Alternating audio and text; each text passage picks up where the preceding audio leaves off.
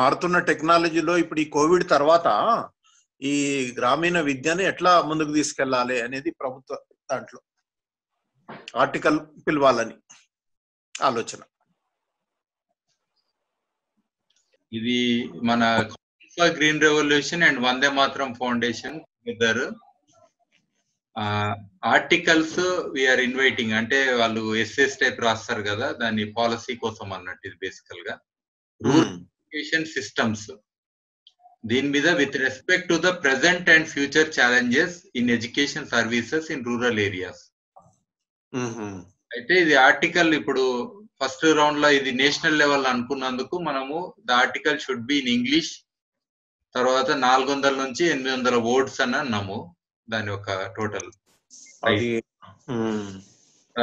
the competition is open for teachers journalist అంటే ఇంకా మనం కేటగిరీస్ కూడా ఇప్పుడు ఇది ఒక విషయము సరే కానివ్వండి మొత్తం అయినాక చూద్దాం.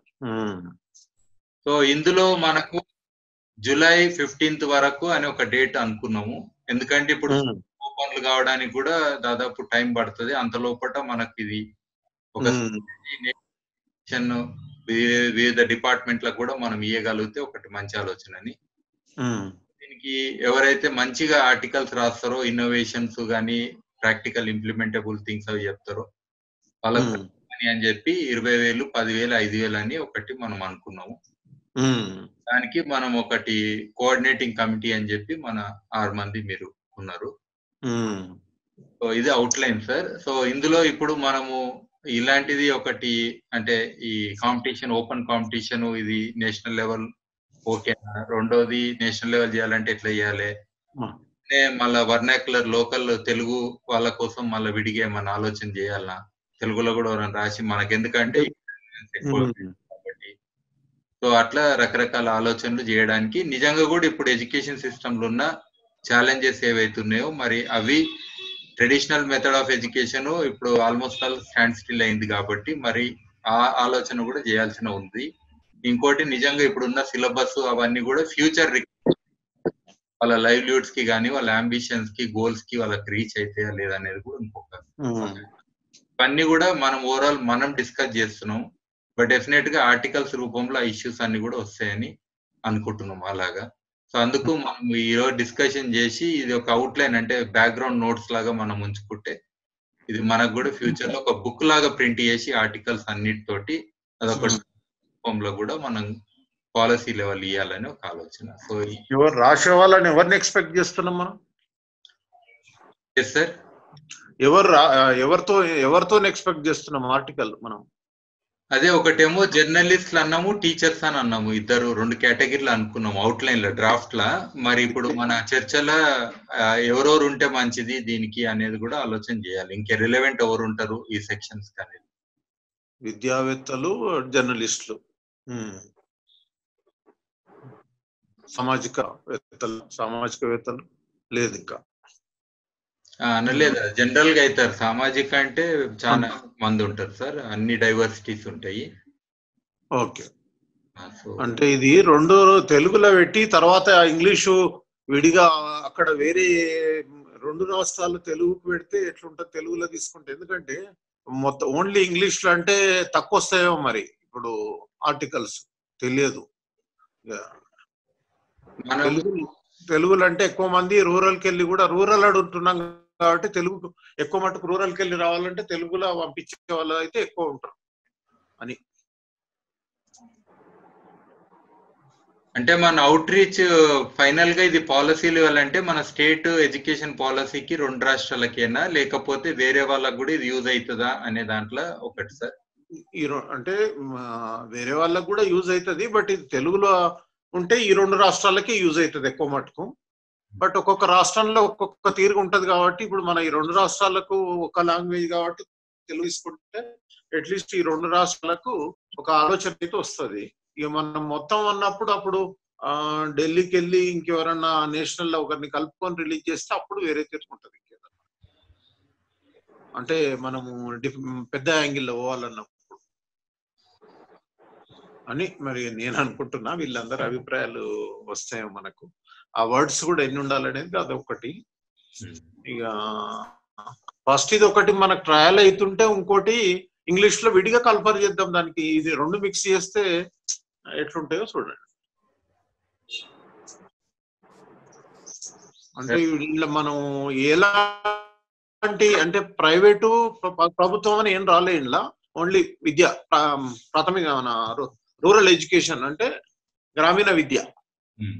ఏరియాస్లో ఛాలెంజెస్ అంటే ఒకటి పూర్ పీపుల్ అనేది ఒకటి తర్వాత యాక్సెస్ టు టెక్నాలజీ కానీ ఈ స్మార్ట్ ఫోన్లు కానీ ఇంటర్నెట్ కానీ ఎస్పెషల్లీ స్కూల్ ఎడ్యుకేషన్లో వాళ్ళకు ఛాలెంజెస్ ఇంకెక్కువ ఉంటాయని ఒకటి అనుకోవడం అయ్యింది. ఇంకో ట్రెడిషనల్గా ముందు పోయినట్టు ముప్పై మంది పిల్లలు ఒక నలభై మంది పిల్లలు యాభై మంది పిల్లలు క్లాస్ రూమ్లో కూర్చునే పరిస్థితి ఉండదు కాబట్టి క్రౌడీగా మరి ఇప్పుడు స్కూల్స్ రీఓపెన్ అయినా కానీ రకరకాల మోడల్స్ ఎమర్జ్ అయితే ఏమో అంటే డిస్టెన్సింగ్ అనేది ఒకటి ఉన్నది కాబట్టి. ఇది ఇంత త్వరలో మనకు లాక్డౌన్ ఎత్తేసినాక కూడా అంత ఈజీగా ఎడ్యుకేషన్ ముందట్లాగా ఇమీడియట్గా కంటిన్యూ అవుతుంది అనేది ఒక ఛాలెంజ్ ఉంది కాబట్టి. అదే కాకుండా ఇలాంటి కొత్త మోడర్న్ పెడాగజీ అని అంటాం ఓవరాల్గా మనం modern method of teaching. The way it is taught అనే దాంట్లో. మరి ఈ సిస్టమ్ కింద ఆలోచన చేస్తే కూడా ఇప్పుడు ఆల్రెడీ చాలా కాలేజెస్ పరంగా అర్బన్ ఏరియాస్లో అడాప్టేషన్ ఆల్రెడీ అయిపోయింది. అవి వాళ్ళు ఎగ్జామ్స్ కూడా పెడుతున్నారు కొంతమంది ఆన్లైన్ దాని మార్కులు కూడా కన్సిడర్ చేస్తారు ఇంటర్నల్గా. అఫ్ కోర్స్ మెయిన్ ఎగ్జామ్స్ కాదు కానీ ఇంటర్నల్ ఎగ్జామ్స్ మార్క్స్ కన్సిడర్ చేస్తారు మరి ఈ సిస్టమ్లో వాటికి ఉన్న ఛాలెంజెస్ కూడా ఉన్నాయి కదా. అంటే ఇది ఇంటర్నల్గా మనం కూడా ఒకసారి ఆలోచన చేసుకోవాల్సిన పరిస్థితి ఉన్నది. నిజంగా ఇట్లా చేంజెస్ అయితేయా? లేకపోతే ట్రెడిషనల్ కంటిన్యూ అవుతుందా అనే దాంట్లో? సో ఈ ఆర్టికల్స్ మనము వాళ్ళని అడిగినప్పుడు మోస్ట్లీ ఈ అవుట్లైన్ ఈ ఫ్రేమ్ వర్క్లోనే what are the real challenges వాటిని అధిగమించడానికి పాలసీ పరంగా కానీ లోకల్ అడాప్టేషన్ పరంగా కానీ సో అవన్నీ టీచర్స్ కూడా మరి స్టూడెంట్స్ కూడా అడాప్ట్ కావాలి. సో ఇవన్నీ కూడా ఇన్ఫ్రాస్ట్రక్చర్ కూడా ఇది కావాలి. సో ఈ రకంగా ఆలోచన కోసం ఇది టైటిల్ అనుకోవడం అయింది. సో ఇందులో మెయిన్ మనకు రెండే ఉంటాయి గ్రామాలలో ఇప్పుడు ఇంపార్టెంట్ కూడా ఒకటి. సో హెల్త్ అనేది అది విడిగా వేరే ఇష్యూ ఇంకో సిజిఆర్ తరఫు నుంచి దాని మీద కూడా ఆలోచన చేయాలని బట్ మన గ్రూపు ఎడ్యుకేషన్ పరంగా అందరు మీరు కూడా రిలవెంట్ ఇప్పుడు ఉన్నది మరి మీ ఆలోచనలు కూడా ఒకసారి మింగ్ అనుకొని ఇంటర్నల్గా మీరు ఆలోచనలు చెప్తే ఓవరాల్గా ఎట్లుండబోతుందేమో అని కూడా. ఎందుకంటే మనము ప్రెడిక్షన్ అనేది కూడా ఒకటి అనుకోవాలి ఎగ్జిస్టింగ్ కండిషన్స్ తోటి. దాని బేసిస్ తోటి మనకి ఇది ఏ రకంగా యూజ్ అవుతుంది ఒక ఇనిషియేటివ్ అనేది కూడా వస్తుందేమో మొన్న పోయిన వారం పోయిన ఫ్రైడే దిలీప్ అన్న రాష్ట్రం వైద్యం మీద. హెల్త్ హెల్త్ మీద రాసి హెల్త్ మీద రాశాను మీరు అదే. అవును. అప్పుడే మీరు అన్నారు ఎడ్యుకేషన్ మీద కూడా ఇట్లా ఈ యాంగిల్లో రావాలి మరి ఇప్పుడు మీ వ్యూస్ చెప్పండి ఫస్ట్ ఒక రౌండ్లో మీరు ఇంటర్నల్గా ఏమనుకుంటారు education business as usual model వెళ్తుందా? ముందున్నట్టు లేకపోతే చేంజెస్ ఉంటాయా? ఇది ఫస్ట్ టెక్నాలజీ కూడా చాలా చేంజ్ అవుతుంది కదా. చాలా అడ్వాన్స్ టెక్నాలజీ అవుతుంది. ఇప్పుడు అన్ని అవి కూడా ఎట్లా అనేది కూడా చూడాల్సి వస్తుంది మాట్లాడండి. ఆహా అచ్చా. ఇప్పుడు ఒకటి ఒకటేమో first school education college education అనేది అది ఎందుకంటే అన్ని కంబైన్ చేస్తే దేని మీద కూడా ప్రాపర్గా ఒపీనియన్ రాదు. అంతా మిక్స్ చేసేస్తారు. మిక్స్ చేస్తే ఫోకస్ ఉండదు. మనం ఇచ్చే four hundred words eight hundred words అనే దాంట్లో. కాబట్టి school education in rural rural urban కూడా ఇప్పుడున్న టెక్నాలజీలో రూరల్ అర్బన్ అని అంటే అర్బన్ అంటే ఏంది? కల్వకుర్తి అర్బన్ వస్తుందా? రూరల్ వస్తుందా? మహబూబ్ నగర్ అర్బన్ వస్తుందా? రూరల్ వస్తుందా? ఈ ఇష్యూస్ అన్ని కూడా వస్తాయి. కాబట్టి ఒకటే థింగ్ ఏంటంటే మనము తెలుగు రాష్ట్రాల నుంచి ఒక ఒపీనియన్ ఇవ్వాలి. దేశం మొత్తం అనేది నెక్స్ట్ లెవెల్లో చూడొచ్చు. కాబట్టి తెలుగు రాష్ట్రాల నుంచే ఇంగ్లీష్లో కానీ తెలుగులో కానీ ఇవ్వండి అని అడగడం అనేది ఒకటి. కాబట్టి దాంట్లో నేషనల్ లెవెల్ది ఇప్పుడు పెట్టుకోవద్దు. ఎందుకంటే చాలా రాష్ట్రాలలో చాలా ఒపీనియన్స్ మనం స్ట్రాంగ్గా మనం ఒక బుక్ తెలుగు రాష్ట్రాల నుంచి ఇవ్వగలిగితే అదే బెటర్ అవుతుంది. తెలుగు రాష్ట్రాల నుంచి తెలుగులో కానీ ఇంగ్లీష్లో కానీ మీ ఒపీనియన్ చెప్పండి అని ఒకటి. రెండోది స్కూల్ ఎడ్యుకేషన్ సపరేట్ చేయాలి కాలేజ్ ఎడ్యుకేషన్ సపరేట్ చేయాలి. ఆ, అప్పుడే ఒక క్లారిటీ వస్తుంది. లేకపోతే ఇక అందరూ అన్ని మిక్స్ చేసి దానికి ఎలాబరేషన్ రాదు. అందరూ సేమ్ పాయింట్ను టచ్ చేసి వదిలేస్తారు. అన్ని ఏరియాస్లో అది టచ్ చేసి వదిలేయడం వల్ల కూడా పెద్దగా ఉపయోగం ఉండదు. కాబట్టి తెలుగు రాష్ట్రాల తీసుకోవడం అనేది ఒకటి. రెండోది ఆ రూరల్ ఏరియా అనేది ఏం లేదు అంతా తెలుగు రా అంటే ఆఫ్టర్ కరోనా ఎడ్యుకేషన్ ఎట్లుండాలి దాని టైటిల్ ఒకటి దిలీప్ రెడ్డి సార్ ప్రాపర్గా పెట్టేస్తే టైటిల్ ఒకటి పెట్టాలి రూరల్ ఏరియా అర్బన్ ఏరియా అనేది డివైడ్ చేయొద్దు ఒకటి. ఆ తర్వాత తెలుగులో కానీ ఇంగ్లీష్లో కానీ ఆర్టికల్స్ ఇన్వైట్ చేయాలి from Telangana Telugu states only. అనేది నా ఒపీనియన్ మామూలుగా తర్వాత ఆర్టికల్ రాయడము అనేది ఏంటంటే ఒకటి ఆర్టికల్స్ రాసే అలవాటు ఉన్న వాళ్ళే రాస్తారు.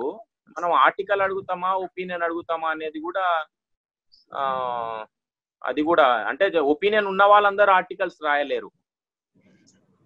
ఉంటది. ఎడ్యుకేషన్లో అరే ఈ చేంజెస్ రావాలి. ఇప్పుడున్న ఛాలెంజెస్కి ఇది సొల్యూషన్ అని చెప్పగలుగుతారు కానీ article రాయలేరు.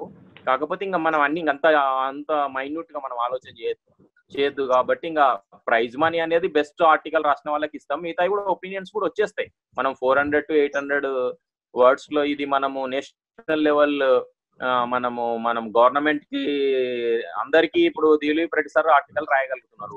Paper news paper link ఉంది కాబట్టి. వేరే వాళ్ళు కూడా అట్లా రాసే కెపాసిటీ ఉండి కూడా వాళ్ళ పబ్లిష్ కాకుండా చాలా కెపాసిటీ ఉన్న వాళ్ళకి ఇది ఒక ప్లాట్ఫామ్ లాగా ఉపయోగపడుతుంది అనేది మంచి ఆలోచనే కాబట్టి ఎడ్యుకేషన్ మీద ఆ, ఇప్పుడు ఆఫ్టర్ కరోనా ఎట్లుంటది అనే దాని మీద ఆర్టికల్స్ని ఇన్వైట్ చేయడము తెలుగు రాష్ట్రాలకే పరిమితం చేయడము ఇంగ్లీష్లో అయినా సరే తెలుగులో అయినా సరే తీసుకోవడం. ఈ మూడు నా ఒపీనియన్ స్కూల్ ఎడ్యుకేషన్ ఒకటే అంటారు కదా ఇప్పుడు ప్రయారిటీ?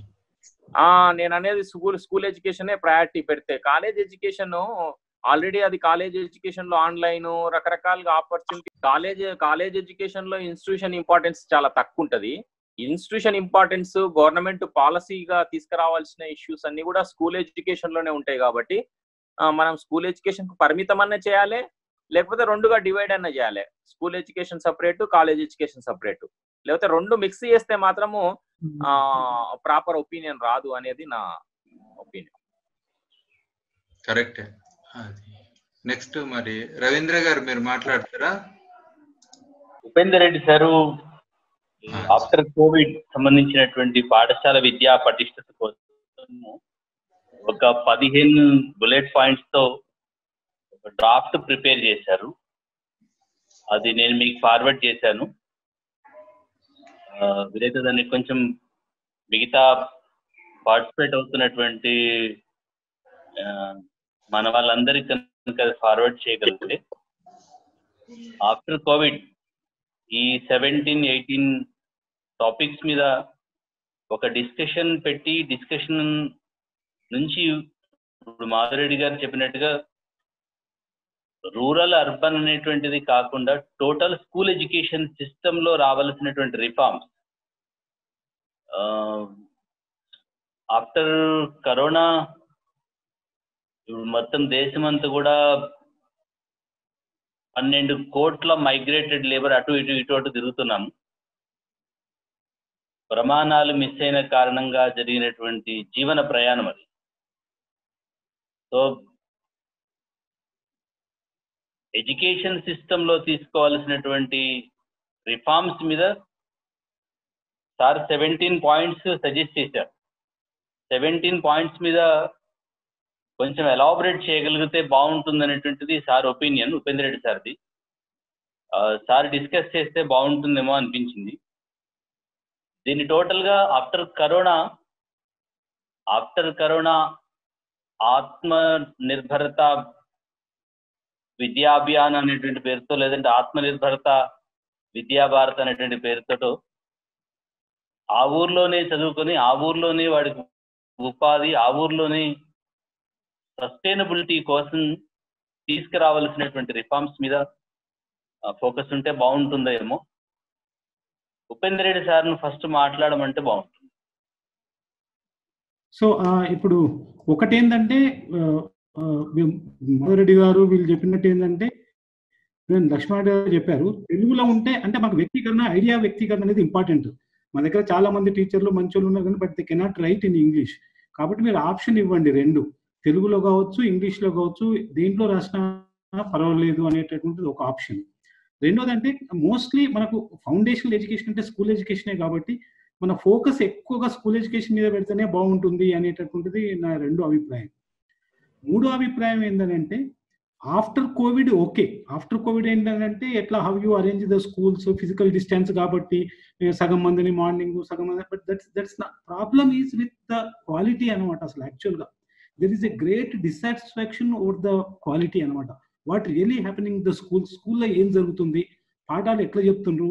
పిల్లలకు ఏం రావాలని ఆశించి స్కూల్లో జరుగుతున్నది? మనం ఆశించినట్టుగా కరికులం ఆశించినట్టుగా విద్య జరుగుతుందా లేదా? ఫోకస్ ఎగ్జామ్ మీద ఉందా? లేకుంటే ఒక మనిషిని ఒక మంచి సిటిజన్గా ఒక మంచి ఇంటలెక్చువల్గా డెవలప్ చేయాల్సిన దాని మీద ఉందా?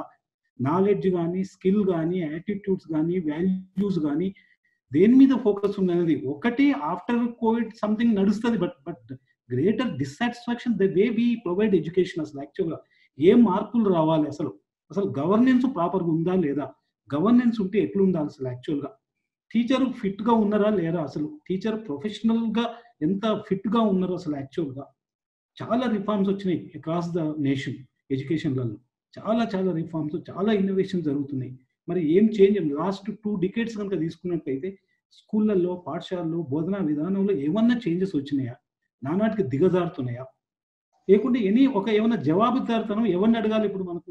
ఒక ఒక ఒక పాఠశాలలో పిల్లలకు చదువు రాలేదంటే ఎవరు జవాబుదారుతనం ఆ క్లారిటీ లేదు సిస్టంలో అసలు యాక్చువల్గా కాబట్టి చాలా పెద్ద పెద్ద ఛాలెంజెస్ ఉన్నాయి. ఇప్పుడు ఎక్కడనో ఇప్పుడు మాధవరెడ్డో లేకుంటే లక్ష్మారెడ్డో రవీందర్ గారు ఏదో బాగా చేస్తున్నారు కానీ బట్ యాక్చువల్గా ఇవి ఇవి సరిపోవు అసలు యాక్చువల్గా కాబట్టి చేయాల్సిన సిస్టమ్ పడుకొని ఉంటే కాబట్టి మన ఫోకస్ అనేది ఆఫ్టర్ కోవిడ్ అంటే ఇదే చెప్తారు రేపు ఇమీడియట్గా. ఏది వెబినార్లు పెట్టాలి లేకుంటే ఆన్లైన్ లెర్నింగ్ ఈ రిసోర్సెస్ ఇవ్వాలి టీచర్ కూడా ట్రైనింగ్ ఇవ్వాలి అనేటటువంటిదే చెప్తారు అంతేగాని బట్ యాక్చువల్గా ఏం అసలు ఎడ్యుకేషన్లో ప్రాబ్లం ఎక్కడ ఉంది? What are the basic challenges ఏంది? ఒక కరోనా ఒక్కటే ఎఫెక్ట్ కాదు అసలు యాక్చువల్గా ఇజంట్ ఇట్ అవి చెప్పినా కూడా మళ్ళీ ఎప్పుడు నడిచేదే నడుస్తుంది మళ్ళా మళ్ళా కూడా. కాబట్టి చాలా క్రైసిస్ ఉంది ఎడ్యుకేషన్లో now isn't it learning crisis ఉంది గవర్నెన్స్ క్రైసిస్ ఉంది యాక్చువల్గా ఇజంట్ ఇట్ ఒక కమ్యూనిటీ పార్టిసిపేషన్ అనేటటువంటి క్రైసిస్ ఉంది. అసలు ఎవరు జవాబుదారుతాం ఒక అకౌంటబిలిటీ క్రైసిస్ ఉంది అక్కడ. కాబట్టి స్టాండర్డ్ క్రైసిస్ ఉంది ఎడ్యుకేషన్లో అసలు యాక్చువల్గా ఎట్ ప్రజెంట్ కాబట్టి మనం అంటే కొన్ని ఇష్యూస్ నేను లేవనెత్తిన దాంట్లో పోస్ట్ కోవిడ్ అని కాదు కానీ బట్ ఒక రేషనల్ ఒక ఒక ఒకటి రాయాలి మనం. వాట్ ఈస్ ద కాంటెక్స్ట్ ఏ కాంటెక్స్ట్లో మీరు ఇన్వైట్ చేస్తుంది ఇప్పుడు ఇవి? ఇట్ కాంటెక్స్ట్ ఒక పోస్ట్ కోవిడ్ అయినా దానికైనా? ఇప్పుడు పోస్ట్ కోవిడ్ అంటే రేపు మామూలుగా ఓపెన్ చేయండి రెండు నెలల కేసులు లేకుంటే నార్మల్ స్కూల్స్ రన్ చేయండి అని అంటారు మన దగ్గర. ఇట్ ఇది ఒక ఆస్పెక్ట్ రెండో ఆస్పెక్ట్ అంటే కోవిడ్ అని కాకుండా కూడా రియల్గా ఆన్లైన్లో రిసోర్సెస్ కానీ ఎడ్యుకేషన్ కానీ టెక్నాలజీ చేసుకుంటూ మనం చాలా ముందుకు పోవాల్సింది కానీ మన దగ్గర ఏం జరగలేదు. ఆ టెక్నాలజీ క్లబ్డ్ ఈ ఈ బేసిక్ ఏది ఐసిటీ ఎంబెడెడ్ ఎడ్యుకేషన్ అయితే మనం అయితే అనుకుంటున్నామో అది జరగట్లే. తర్వాత రిమోట్ లెర్నింగ్ అనేటువంటిది లేనే లేదు అసలు యాక్చువల్గా. కాబట్టి ఏది తీసుకున్న ఇష్యూసే ఉన్నాయి మనకు. బేసిక్ ఛాలెంజెస్ మనం ఐడెంటిఫై చేస్తే ఫస్ట్ మనం ఒక కాంటెక్స్ట్ ఒక రేషనల్ ఒక చేసి these are the basic challenges అని మనం రాసి what are the ideas you give for this and change అనేది ఎక్కడ జరగాలి అనేటటువంటిది కనుక మనం మనం రాసి ఒక క్లారిటీ ఇవ్వాలి అసలు యాక్చువల్గా మనం. ఒక ఒక ఒక పేపర్ రేషన్ నేను ఇచ్చిన దాని బేస్ మీద నేనే రాయమంటే రాస్తా. నేను మొన్న నాకు రెండు వెబినార్ నుండి నేను రాయలేదు యాక్చువల్గా ఒక రెండు పేజీలు రాసే కాంటెక్స్ట్ ఏంది? ఏ కాంటెక్స్ట్లో మనం యాక్చువల్గా యూ ఆర్ ఇన్వైటింగ్ అనేటటువంటిది కనుక మనం రీచ్ చేయగలిగితే దట్ మోస్ట్ ఇంపార్టెంట్ చాలా ఇష్యూస్ ఎడ్యుకేషన్ అడ్రస్ చేయాల్సింది. ఇప్పుడు మీరు చాలా వర్క్ చేస్తున్నారు ఇప్పుడు. ఏది ఎన్విరాన్మెంట్ మీద తర్వాత సస్టైనబుల్ డెవలప్మెంట్ మీద. ఈ ఎజెండానే లేదు కదా స్కూల్స్కి అసలు యాక్చువల్గా ఇజెంట్ ఇట్ ఏదో లైవ్లీహుడ్ ఏదో ఇంజనీర్ కావాలను లేకుంటే టెన్త్ క్లాస్ పాస్ కావాలని ఉంది కానీ బట్ యాక్చువల్గా tomorrow how we leave and what kind of world we are creating అనేటటువంటిది in what way we are sensitising our children అనేటటువంటి ఆస్పెక్ట్ల టీచర్లు లేరు పిల్లలు లేరు కరికులం అంతంత మాత్రం కరికులం కూడా బేసిక్గా ఆ ఫోకస్ లేదు అసలు యాక్చువల్గా సో ప్రజెంట్ ఎడ్యుకేషన్ ఎవరికి ఉపయోగం ఎంతవరకు ఉపయోగం to what extent you are యాక్చువల్గా linking this education day to day లైఫ్ను మనం ఏ రకంగా రిప్రజెంట్ చేస్తుంది ఈ ఎడ్యుకేషన్ అనేటటువంటిది చాలా సీరియస్గా డిస్కషన్ చేయాల్సినటువంటి అవసరం ఉంది అసలు యాక్చువల్గా ఇది మన వ్యూ అంటే దాన్ని లిమిట్ చేయొద్దు. ఓన్లీ ఆఫ్టర్ కోవిడ్ అంటే ఏదో రాస్తారు. ఇప్పుడు చాలా ఆర్టికల్స్ వస్తున్నాయి. It's not the like that but really there is a greater dissatisfaction the way we actually give education to our children now the way we run the schools isn't it? The way we actually uh, provide infrastructure to the schools, the way we actually uh, uh involve uh, the community and parents అసలు అసలు school performance మీద పేరెంట్స్కి ఏమైనా information ఉందా? Nobody knows రేపు tenth క్లాస్లో pass అయితే మావాడు బాగా పాస్ అయింది అనుకుంటారు అంతేగాని సిక్స్త్ సెవెంత్ ఎయిత్ చదివే పేరెంట్స్ అడగండి. మీ పిల్లలకు ఏం చదువు వస్తుందని మనకు తెలిసేమో అసలు యాక్చువల్గా మనం అన్ని మూసుకున్నాం అసలు యాక్చువల్గా మా ఇన్స్పెక్షన్ రిపోర్ట్ ఎవడన్నా స్కూల్కి పోతే ఎంఈఓ ఇన్స్పెక్షన్ చేస్తే డిఓకు డిఓ ఇన్స్పెక్షన్ చేస్తే కమిషనర్ పంపిస్తారు కానీ ఇన్స్పెక్షన్ స్కూల్ ఇన్స్పెక్షన్ చేస్తే ఆ పేరెంట్స్కి రిపోర్ట్ పోనే పోదు అసలు యాక్చువల్గా కాబట్టి బేసిక్ ఇష్యూస్లలో ఎక్కడ మనకు చేంజ్ రావాలి ఎందుకు we are so much dissatisfied what are the reasons అనేటట్టు దాని మీద చర్చ జరగాలి దాని మీద రావాలని నా అభిప్రాయం. థ్యాంక్ యూ ఓకే సార్ మీరు చాలా బాగా కాంప్రిహెన్సివ్గా చెప్పారు. ఐ థింక్ మీరు చెప్పే దాంట్లో SDG four ensure and equitable quality education and promote life learning అనేది కూడా మీరు whatever you set comprehensively అందులో వచ్చినాయి. అంటే ఎమర్జెంట్గా వచ్చేటటువంటి ఏంటంటే సెల్ఫ్ లెర్నింగ్ టెక్నిక్స్లో పిల్లలు స్వయంగా లెర్న్ హౌ టు లెర్న్ అనేటువంటి టెక్నిక్స్ నేర్పించాలి ఈ ఫౌండేషన్ స్టేజ్లోనే. ఇంకా మనం స్పూన్ ఫెడ్ టైపులో నోట్స్ ఇచ్చి గైడ్లు ఇచ్చి చేస్తున్నాం అసలు యాక్చువల్గా. కాబట్టి పిల్లలకు ఒక డీప్ లెర్నింగ్ కోసము రీడింగ్ రెఫరెన్స్ కల్చర్ అనేటటువంటిది మనం యాక్చువల్గా పిల్లల టీచర్లకే లేదు అది పిల్లలకు తర్వాత కానీ అది వస్తే అది వస్తుంది. కాబట్టి క్రిటికల్ ఏంటంటే teacher education teacher quality is critical now isn't it?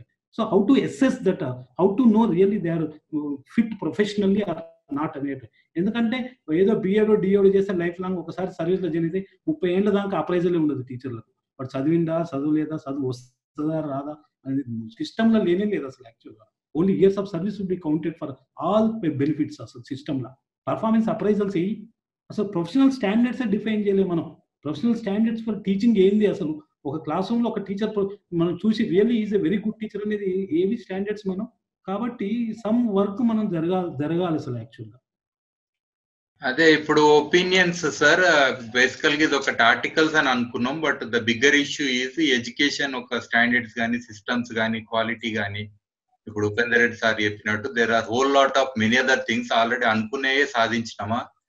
So మరి దాని రిలేటెడ్ కూడా ఆలోచన చేయాలి. ఇప్పుడు ఈ అడాప్టేషన్ ఒకటే కాకుండా అని చెప్పి వారు చెప్పారు అట్లనే ఇంతకు మాధరెడ్డి గారు తర్వాత రవీంద్ర గారు కూడా కొన్ని విషయాలు చెప్పిన ఉండే దట్ రూరల్ ఎడ్యుకేషన్ స్కూల్ పిల్లలది ఎడ్యుకేషన్ ది మనము ఎక్కువగా ఇప్పుడు ఆలోచించాల్సిన అవసరం ఉంది. రూరల్ అంటే అర్బన్ కూడా వస్తారు. మెయిన్ స్కూల్ పిల్లలు అనేది మెయిన్ అనుకొని ఇంగ్లీష్ తెలుగులో మనం ఆర్టికల్స్ ఇంకొంతమంది ఒపీనియన్లు కూడా చెప్పగలుగుతారు కాబట్టి అట్లా కూడా వాళ్ళ వ్యూస్ తీసుకునే అవకాశం ఉంది అనేది కూడా డిస్కస్ చేయడం ఏంటి. సో ఇట్లా వాళ్ళ ఒపీనియన్ చెప్తున్నారు సార్. మరి మీరు కానీ ఇంకా దిలీప్ రెడ్డి సార్ కానీ మీరు ఒపీనియన్ చెప్తే ఇంకా రవీంద్ర డీటెయిల్గా చెప్పలే. చెప్పలేదు. వారు ఓన్లీ ఉపేందర్ రెడ్డి సార్ పంపిన కొన్ని పాయింట్ల మీద వారు అన్నారు. ఇట్లా పంపిరని. సో రవీంద్ర గారు మీరు మాట్లాడతారా? ఇన్ఫ్రా మళ్ళీ దాన్ని ఆఫ్టర్ కోవిడ్ అంతా కూడా ఇన్ఫ్రాస్ట్రక్చర్ చుట్టూ తిరుగుతూ ఉంటుంది. మన క్వాలిటీ ఎడ్యుకేషన్కి ఇన్ఫ్రాస్ట్రక్చర్కి ఈ రోజుల్లో సంబంధం లేదు. ఒక last five six years back quality education మాట్లాడినప్పుడు బాత్రూమ్స్కి water facility running water facility లేదు. కిచెన్ సెట్స్ సరిగా లేవు. క్వాలిటీ ఎడ్యుకేషన్ మాట్లాడినప్పుడల్లా కూడా ఇట్లా డిఫరెంట్ ఇష్యూస్తో ఎస్కేప్ అయ్యేటువంటి సిస్టమే ఉండేది. సో ఇప్పుడు ఉమ్మడి తెలుగు రాష్ట్రాలలో ఉమ్మడి తెలుగు రాష్ట్రాలలో మన వాళ్ళు అనుకునేటువంటి గణాంకాల ప్రకారంగా సుమారు నలభై లక్షలకు పైగా మైగ్రేటెడ్ లేబర్ ఉన్నారు. అది పాలమూరు అయితేనేమి ఖమ్మం నల్గొండ వరంగల్ ముంబై సూరత్ భీమండి కోల్కతా అట్లా డిఫరెంట్ ఏరియాస్. ఈ మైగ్రేటెడ్ నలభై యాభై లక్షల మంది గ్రామాలు వదిలిపెట్టి వాళ్ళ జీవితాన్ని వెతుక్కోవడం కోసం జరిగేటువంటి ప్రయాణంలో క్వాలిటీ ఎడ్యుకేషన్లో డిస్టర్బ్ అయ్యి డీవియేట్ అయ్యి డిస్కంటిన్యూ అయినటువంటి కేటగిరీ సంబంధించినటువంటి వాళ్ళు కనబడుతుంది ఒక ఒక సామాజిక అసమానతకి ఈరోజు ఎడ్యుకేషన్ సిస్టమ్ కొనుక్కున్న వాడే ఈరోజు ఐఐటికి వెళ్తున్నాడు కొనుక్కున్న వాడే సివిల్ సర్వెంట్ అవుతున్నాడు. ఒక అసమానతకి దారితీసేటువంటి పరిస్థితి ఈరోజు గవర్నమెంట్ స్కూల్స్లో క్వాలిటీ ఇంప్రూవ్ చేయడం కోసం so many projects projects projects పెట్టుకుంటూ పోయారు. ఎక్కడ ఇంతకత ఉపేంద్ర రెడ్డి సార్ చెప్పినట్టుగా అకౌంటబిలిటీ కానీ మానిటరింగ్ కానీ రివ్యూస్ కానీ ఇది జరగని కారణంగా ఎడ్యుకేషన్ పేరుతో ఉన్న సిస్టమ్ మీద నమ్మకం కోల్పోయి లక్షలాది మంది సిటీస్కి వెళ్ళిపోయి సిటీలో ఉన్న స్కూల్స్లోనే కాన్వెంట్ స్కూల్స్లోనే కరెక్ట్ ఎడ్యుకేషన్ ఉంటుందని ఆ అపోహతో ఆస్తులు అమ్ముకొని అప్పుల పాలై భార్య పిల్లలు కుటుంబాలతో సహా హైదరాబాదు ఆరు డిస్టిక్ హెడ్ క్వార్టర్స్కి షిఫ్ట్ అయిపోయినటువంటి కుటుంబాలు కోకొల్లు లక్షల సంఖ్యలో ఉంటాయి. క్వాలిటీ ఎడ్యుకేషన్ కనుక గ్రామీణ ప్రాంతంలో ఇవ్వగలుగుతుంది డాక్టర్ ఏపీజే కలాం గారు సజెస్ట్ చేసినట్టుగా పురా కాన్సెప్ట్లో quality education quality health care system కనుక విలేజెస్లో స్ట్రెంగ్ చేయగలిగితే సమాజానికి ఆ విశ్వాసాన్ని కలిగించగలిగితే సమాజానికి జవాబుదారితనంతో విద్యా వ్యవస్థను పటిష్టపరచగలిగితే ఎస్ గవర్నమెంట్ స్కూల్ నుంచి కూడా ఐఐటికి సెలెక్ట్ అవుతారు. గవర్నమెంట్ స్కూల్స్ నుంచి కూడా సివిల్ సర్వెంట్స్ ఆగలుగుతారు ఒక కన్ఫ్యూజన్ వర్డ్స్ ఏంటంటే గవర్నమెంట్ స్కూల్లో చదువుకున్న వాళ్ళు చాలా మంది సివిల్ సర్వెంట్స్ అంటారు.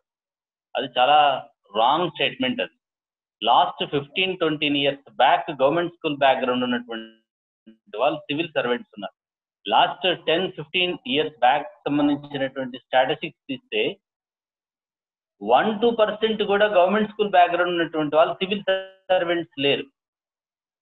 అసమానత ఏంటో ఆర్థిక పరిస్థితులు ఏంటో ఆకలి ఏంటో అణచివేత ఏంటో అర్థమైనటువంటి వాడు ఐఏఎస్ ఆఫీసర్ అవుతే ఈ ముప్పై మూడు జిల్లాలకు సంబంధించినటువంటి సివిల్ సర్వెంట్స్ డేటా తీస్తే ఇరవై ఆరు జిల్లాల కలెక్టర్లు అందరూ కూడా కార్పొరేట్ ప్రైవేట్ స్కూల్ బ్యాక్గ్రౌండ్ ఉన్నటువంటి వాళ్ళు కనబడతారు.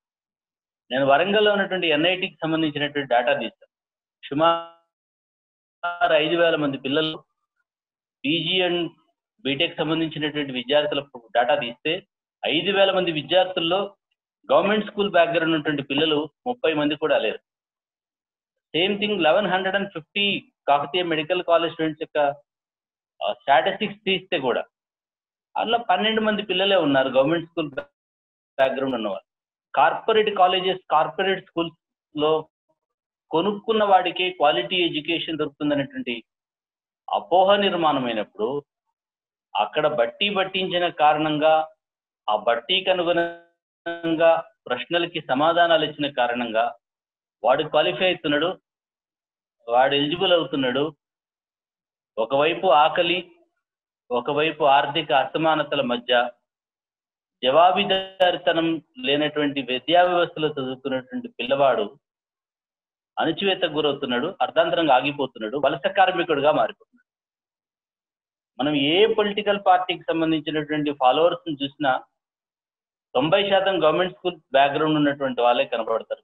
కార్పొరేట్ ప్రైవేట్ స్కూల్ బ్యాక్గ్రౌండ్ ఉన్నటువంటి వాడు కనిపించారు. డిస్టర్బ్ అయ్యి డీవియేట్ అయ్యి. ఈవెన్ మూమెంట్స్లో కనిపించేటువంటి దాంట్లో కూడా గవర్నమెంట్ స్కూల్ బ్యాక్గ్రౌండ్ ఉన్నటువంటి పిల్లలే కనబడతారు. కొనుక్కోలేనటువంటి పేదరికం ఒక అసమానతకి ఒక అసాంఘికతకి ఒక అన్యాయానికి దారితీసేటువంటి పరిస్థితి ప్రభుత్వ పాఠశాలల్ని పటిష్టపరచగలిగితే ప్రభుత్వ పాఠశాలల్లో నాణ్యతా ప్రమాణాలను పెంచగలిగితే ఆ నాణ్యతా ప్రమాణాలు పెంచడానికి ఇంత క్రితం ఉపేంద్ర రెడ్డి సార్ చెప్పినట్టుగా సమూలంగా ప్రక్షాళన గనుక చేయాలనేటువంటి సాహసం చేయగలిగితే నిజంగా అడుక్కునేటువంటి సమాజం మనకు కనబడదు. వలస కార్మికుల సంఖ్య తగ్గించడానికి అవకాశం ఉంది. వాడి కాళ్ళ మీద వాడు నిలబడగలుగుతాడు. వాడు కావలసినటువంటి నైపుణ్యాలను తెచ్చుకోగలుగుతాడు. అందుబాటులో ఉన్నటువంటి ఉపాధి అవకాశాల కోసం వెతుక్కోగలుగుతాడు. ఇంటర్మీడియట్ అనేటువంటి ఒక కన్ఫ్యూజన్ స్టేటస్లో లక్షలాది మంది విద్యార్థులు నన్ను అడిగితే అసలు టెన్త్ క్లాస్ బోర్డ్ ఎగ్జామ్ కూడా తీసేసారు ఎయిత్ ఎలిమెంటరీ లెవెల్ వరకు ఇవ్వగలగాలి ఎయిత్ ఎయిత్ నుంచి వాడి వొకేషనల్ ఎడ్యుకేషన్ కనుక ఇవ్వగలిగితే వాడి గ్రామంలో వాడి ఇంటి తక్కువ ఇంటి పక్కన వాడి అవసరాలకు అనుగుణంగా వాడు ప్రొఫెషన్ వాడు మార్చుకోవడానికి అవకాశం ఉంటుందేమో. ఇంకా కాస్త దీన్ని చదవాలనేటువంటి తపన ఉన్నటువంటి పిల్లవాడు హైయర్ ఎడ్యుకేషన్కి వెళ్ళడానికి కావాల్సినటువంటి అవకాశం ఇవ్వగలిగితే ఈ రోజు ఉన్నటువంటి ఇంత పెద్ద వాక్యూమ్ ఇల్లు వాకిలి అన్ని వదిలిపెట్టేసేసి ఆ లక్షలాది మంది కార్మికులు వాళ్ళ జీవన స్థితి చూస్తుంటే గుండె తరుక్కుపోతుంది వీటన్నింటికి కూడా వీటన్నింటికి కూడా నా బడి సమాధానం చెప్పాలి. బతుకు మార్చేటువంటి బడి మాత్రమే సమాధానం చెప్పాలి. ఒకసారి దిలీప్ అని ఒక ఆర్టికల్ రాశారు. ముసాయిపేట ఆ ట్రైన్ ఇన్సిడెంట్ జరిగినప్పుడు ఓ తల్లి ఓ తల్లి బిడ్డని ఒడిలో వేసుకొని ఏడుస్తుంది. డెడ్ బాడీని ఒడిలో వేసుకొని ఏడుస్తుంది. ఓ రిపోర్టర్ వచ్చేసేసి ఆ తల్లి దగ్గర ఇంటర్వ్యూ చేస్తున్నాడు. నీ ఊర్లో బస్సు ఉన్నది కదా నువ్వు ఎందుకు నీ కొడుకును బస్సు ఎక్కించావనంటే ఆ బస్సు పరిగెడుతుంది. ఆ బస్సు పరిగెడుతుంటే బిడ్డను కూడా చేత పట్టుకొని వెళ్ళి అమాంతం బిడ్డని బస్సులో విసిరేసింది తల్లి. ఫస్ట్ ట్రైన్ యాక్సిడెంట్లో పిల్లలందరూ చచ్చిపోయారు. అందులో ఈ పిల్లవాడు కూడా చనిపోయాడు. నా చేతులారా నా చేతులారా నా బిడ్డని బస్సు ఎక్కించి చంపుకున్నాను. ఆ తల్లి అనేటువంటి మాట ఆ తల్లి అనేటువంటి మాట యావత్ విద్యా వ్యవస్థ విద్యాలోకంలో పనిచే విద్యా వ్యవస్థలో పనిచేసేటువంటి ఉపాధ్యాయులు మేధావులందరూ వినాల్సినటువంటి మాట. నా బడి మీద మన్నుబడ నా బడి చక్కగా నడిస్తే నా పిల్లవాడిని బలవంతంగా బస్ ఎక్కిస్తారా నా పిల్లవాడిని బలవంతంగా చెప్పుకున్నానయ్యా గ్రామీణ ప్రాంతంలో బడులు సరిగ్గా నడిస్తే వలసలు ఆగిపోతాయి. గ్రామీణ ప్రాంతంలో బడులు సరిగ్గా నడిస్తే బడిలో పటిష్టమైనటువంటి నాణ్యతా ప్రమాణాలతో కూడుకున్నటువంటి విద్యావకాశాలు కల్పించగలిగితే ఈ రోజు ఈ సంఘర్షణకి మనం పరిష్కారాన్ని ఇచ్చిన వాళ్ళం అవుతాం. ఎవరు ఎవరు అన్నప్పుడు ఉపాధ్యాయులు మా వాళ్ళ మా మా మేము బాగా చేస్తున్నాం అక్కడ ఇన్ఫ్రాస్ట్రక్చర్ లేదని ఇంకోరంటారు ఇన్ఫ్రాస్ట్రక్చర్ గురించి అది పెద్ద కన్ఫ్యూజన్ వచ్చాడు ఉపేంద్ర రెడ్డి సార్ చెప్పినట్టుగా సమూలమైనటువంటి ప్రక్షాళన గ్రాస్ రూట్లో తెలంగాణ ఉద్యమం కోసం మిగతా ఇతరత్ర ఉద్యమాల కోసం చాలా జరిగాయి. జీవితాన్ని నిలబెట్టేటువంటి విద్య కోసం గ్రాస్ రూట్లో ఒక ఉద్యమం బిల్డప్ అవుతే తప్ప నా పిల్లవాడికి ప్రభుత్వం ఖర్చు పెట్టే యాభై వేలు నాకు ఇవ్వగలుగుతారా? నాకు ఇస్తే నీ పిల్లలతో పాటు నేను కూడా సమానంగా చదవగలుగుతాను. అనే స్థాయిలో సమాజం ప్రశ్నించేటువంటి స్థితికి సమాజాన్ని చైతన్యవంతం చేయగ చేయడమా? పాఠశాల నిర్వహణలో ఢిల్లీ తరహాలో పాలసీ తీసుకుని పాఠశాల నిర్వహణలో ప్రజల్ని ప్రత్యక్ష భాగస్వామ్యం చేయగలుగుతామా? సిసోడియా గారు ఇచ్చేటువంటి శిక్షా డ్రాఫ్ట్ ఒకసారి చూసినప్పుడు పాఠశాలకు సంబంధించినటువంటి అకాడమిక్ యాక్టివిటీ అంతా కూడా ప్రిన్సిపల్ హెడ్ మాస్టర్ చూస్తాడు. నాన్ అకాడమిక్ యాక్టివిటీ అంతా కూడా అక్కడ ఉండబడినటువంటి కమిటీ కానీ కరస్పాండెంట్ లాగా పనిచేసేటువంటి స్కూల్ సెక్రటరీ కానీ వాళ్ళు చూడాలి. ఈయన ఎంతసేపు నాన్ అకాడమిక్ యాక్టివిటీస్ చుట్టూ తిరిగి అకాడమిక్ యాక్టివిటీస్ని వదిలేసేసి పాఠశాల మీద ఇవాళ హెడ్ మాస్టర్స్ కనుక ఒక సబ్జెక్ట్ నీ ఓన్ సబ్జెక్ట్ని ఒక టూ అవర్స్ హ్యాండిల్ చేయమంటే తలబట్టుకుని కూర్చున్నారు. Almost sixty seventy percent of teachers ఈ రోజు వాళ్ళ సబ్జెక్ట్ పరంగా వాళ్ళు అవుట్డేట్ అయి ఉన్నారు. అన్యాయం ఏంటంటే చాలా ఇష్యూస్ ఉన్నాయి వాళ్ళ మధ్యలో. ప్రభుత్వం కూడా విద్యాపరంగా చైనాలో తీసుకొచ్చినట్టుగా ఒక మూడు సంవత్సరాలు నాలుగు సంవత్సరాలు. ఇతడు సరైనటువంటి ప్రమాణాలతో కూడుకున్నటువంటి ఉపాధ్యాయుడేనా అని చెప్పేసి పరీక్ష పెట్టగల పెట్టగలిగితే టీచర్ అప్డేట్ అయినటువంటి టీచరే కనుక కంటిన్యూ చేయగలిగితే ఈ సమాజానికి న్యాయం చేకూర్చే వాళ్ళు అవుతారు అట్లా అవుట్డేటెడ్ సిస్టమ్లో ఉన్నటువంటి టీచర్స్ కారణంగా అవుట్డేటెడ్ సిస్టమ్ కారణంగా అదే మూస విధానంలో వెళ్తున్నటువంటి వాళ్ళ కారణంగా ఈ రోజునటువంటి పిల్లలకి సరైనటువంటి ప్రమాణాలు ఇవ్వలేకపోతున్నారు. హెడ్ మాస్టర్స్లో మార్పు రావాలి ఉపాధ్యాయుల్లో మార్పు రావాలి. వీళ్ళిద్దరిని ఉపయోగించుకునేటువంటి గ్రామీణ క్షేత్రంలో పాఠశాలకు సంబంధించినటువంటి తల్లిదండ్రుల్లో విస్తృతమైనటువంటి మార్పు రావాలి. ఇది నా బడి. నా పిల్లల అస్తిత్వానికి కేంద్రం ఈ బడి ఈ బడిని నేను ఓన్ చేసుకుంటాను. నేను ప్రశ్నిస్తానని ఉపాధ్యాయులు చాలా తెలివిగా ఏంటంటే తల్లిదండ్రులను మీరొద్దు మీ డబ్బులొద్దు మీరు మా బడికి రావద్దు. ఈ దృక్పథంలో ఉన్నారు వాళ్ళందరూ. ఇది కరెక్ట్ కాదు. మీరు అకాడమిక్ యాక్టివిటీ చూడండి. ఇన్ఫ్రాస్ట్రక్చర్ సంబంధించినటువంటి విషయం నిర్వహణకు సంబంధించినటువంటి ఇతరాతర విషయాలు లోకల్ కమ్యూనిటీ చూస్తుంది. లోకల్ బాడీ కంట్రోల్ ఎందుకంటే సార్ ఉపేంద్ర సార్ చెప్పినట్టుగా ఒక సర్పంచి ఆధీనంలో లేదు ఈరోజు పాఠశాల. మండల పరిషత్తు అధ్యక్షుని పరిధిలో లేదు ఈరోజు పాఠశాల. ఈవెన్ దో జిల్లా పరిషత్ అధ్యక్షుడు కూడా ప్రశ్నించలేని స్థాయిలో ఉంది పాఠశాల. ఎవరికి జవాబుదారితనం లేకపోతే ప్రమాణాల గురించి ప్రపంచం కోరుకునేటువంటి నాణ్యతా ప్రమాణాలు అందించేటువంటి వ్యవస్థ అక్కడ లేకపోతే ప్రజలు కొనుక్కోవడానికి అప్పులు చేసి ఆగమవుకోవడానికి పిల్లల చదువుల కోసం అన్యాయం కావడానికి రెడీగా ఉన్నారు. సమూలంగా మార్పు రావడానికి విద్యావేత్తలైనటువంటి వాళ్ళు గ్రామీణ ప్రాంతంలో ఆరు పట్టణ ప్రాంతంలో ఉన్నటువంటి విద్యార్థుల యొక్క తల్లిదండ్రులు ఒక విస్తృతమైనటువంటి చైతన్యం కనుక నిర్మాణం అయితే తప్ప ఆ చైతన్యంలో ఏ ఎమ్మెల్యే కనిపించినా ఏ కలెక్టర్ కనిపించినా ఈ వెల్ఫేర్ స్కీమ్స్తో మమ్మల్ని ఎంతసేపు అడుక్కునేటువంటి వాళ్ళగా తయారు చేస్తున్నారు తప్ప ఆత్మగౌరవంతో కూడుకున్నటువంటి వ్యక్తులుగా తయారు చేయాలంటే అంబేద్కర్ గారు చెప్తారు అక్షరం మాత్రమే నేను ఆత్మగౌరవాన్ని కలిగించగలుగుతుంది. అక్షరం మాత్రమే నేను తలెత్తుకున్నటువంటి వ్యక్తిగా తయారు చేయగలుగుతుంది. అది ఇవ్వకుండా అది ఇవ్వకుండా మిగతా అన్ని ఇవ్వడానికి పోటీ పడుతున్నారు. అది ఇవ్వండి అది ఇవ్వగలిగితే ఈ మొత్తం దేశానికి కావాల్సినటువంటి పెట్టుబడి ఈ మానవ సమాజం ఇవ్వగలుగుతుంది ఈ మానవ వనరులు ఇవ్వగలుగుతాయి. సో ఈ కోణంలో విద్యావేత్తలు ఉపాధ్యాయులు అట్లాగే అంటే పాజిటివ్గా పనిచేసేటువంటి ఉపాధ్యాయులు చాలా మంది ఉన్నారు. ఓ తల్లిదండ్రులు కనుక ఇట్లా చైతన్యవంతమై ఒక ఉద్యమం కనుక నిర్మాణం కాగలిగితే రాష్ట్ర ప్రభుత్వాలకి సరైనటువంటి దిశానిర్దేశం చేయగలిగినటువంటి ఆర్టికల్స్ కనుక మనం చదివితే ఆర్టికల్స్ ఆధారంగా ఒక వంద రెండు వందల ఆర్టికల్స్ కలెక్ట్ చేసి ఒక ముసాయిదా లాగా దాన్ని సెట్ చేసేసి లక్ష్మారెడ్డి గారు కోరుకున్నట్టుగా రెండు ప్రభుత్వాలకి రికమెండేషన్స్ పంపించగలిగితే వాళ్ళు ఆలోచిస్తారనేది ఒక ఆశ.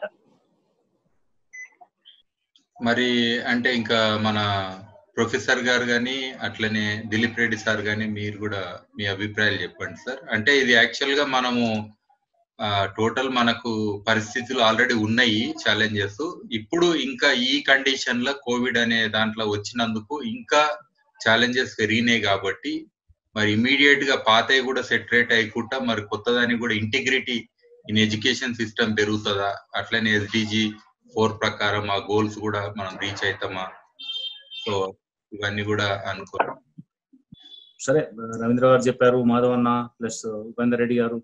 వాళ్ళంతా for the decades together they are deeply involved in education especially school education school education లో కోవిడ్ కాంటెక్స్ట్లో వ్యాసాలు అడగడం కరెక్ట్ కాదు కోవిడ్ మనకు కల్పించిన ఒక అవకాశం ఏంటంటే ఒక కొత్త న్యూ న్యూ నార్మల్ తీసుకొచ్చుకోవడానికి ఇది ఒక అవకాశం కనుక ఆ టోటల్ చేంజ్కి మనం ఆ, ఒక ప్రయత్నం చేస్తాం అది కాంటెక్స్ట్ తప్ప కోవిడ్ కాంటెక్స్ట్లో తీసుకోవడం అనేది కాంప్రహెన్షన్ ఇవ్వదు అది. అది ఓన్లీ టెక్నాలజీ వైపు ఆ లిమిటేషన్స్ ఏమున్నాయో వాటిని ఓవర్కమ్ కావడానికి అవసరమైన టూల్స్ మాత్రమే ఇస్తుంది అట్లా అడగకూడదు. ఆ కాంటెక్స్ట్లో మనం దీని అడ్వాంటేజ్ తీసుకోవడానికి చేస్తే బాగుంటది అనేది ఉద్దేశము.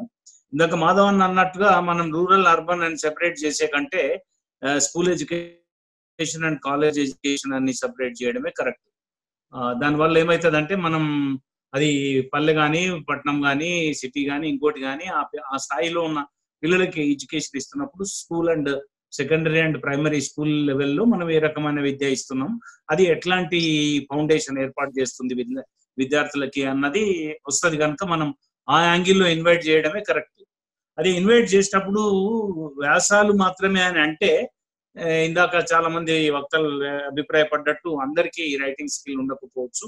నీడ్ నాట్ బి ఆర్టికల్ మనం దాంట్లో article oblique opinion oblique suggestions అంటే ఇచ్చినట్టయితే వాళ్ళు సజెషన్స్ రూపంగా కూడా ఇవ్వచ్చు. వాళ్ళు ఫోర్ హండ్రెడ్ వర్డ్స్లో సజెషన్స్ ఇస్తే సరే.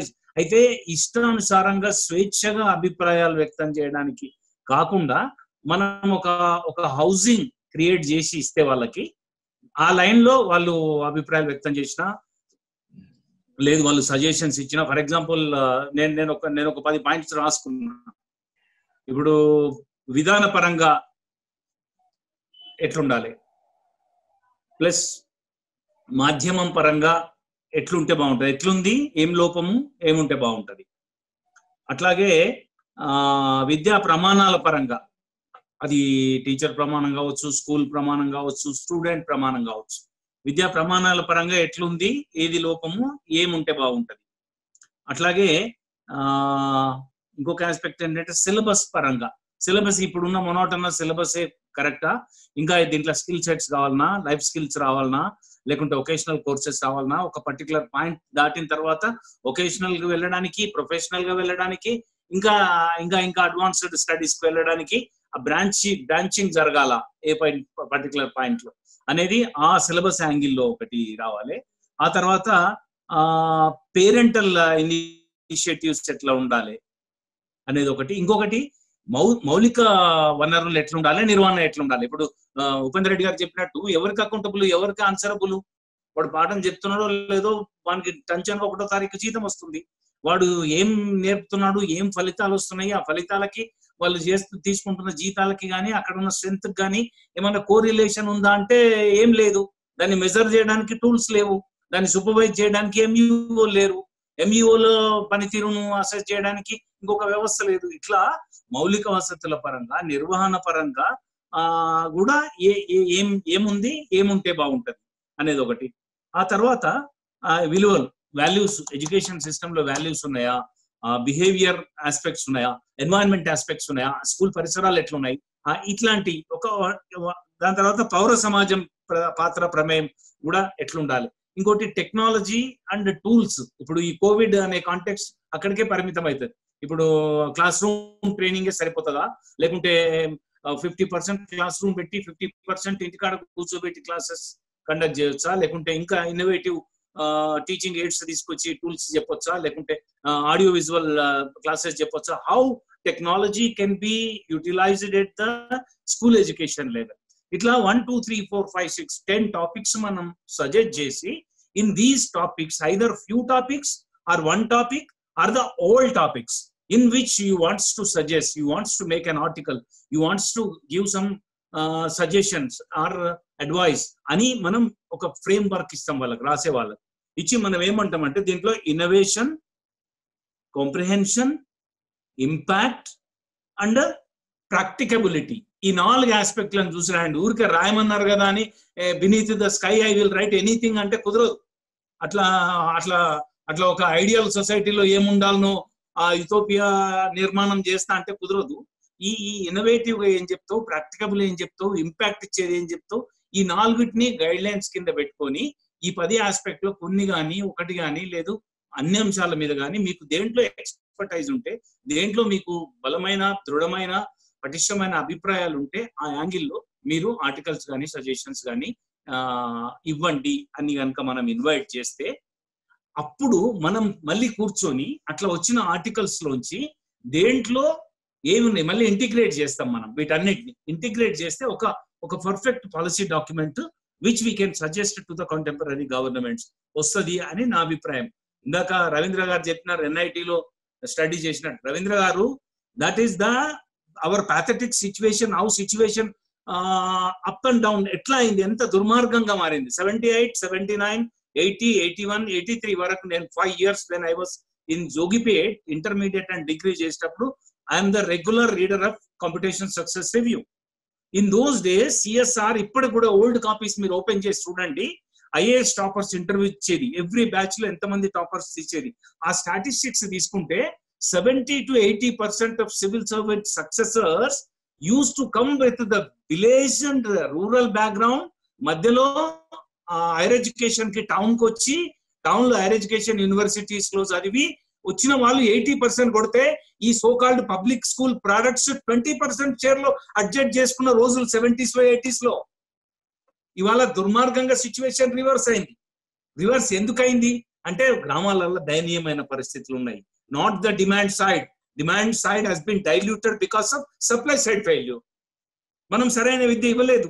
ఇవ్వలేదు కనుక వదులుకున్నారు. మేము నేను చదివిన రోజుల్లో మా ఊళ్ళో సర్పంచ్ కొడుకా మాలి పటేల్ కొడుకా లేకుంటే ఆఫీసర్ కొడుకా అన్న తేడా లేకుండా అందరం అదే స్కూల్ పోయి చదువుకున్నాం.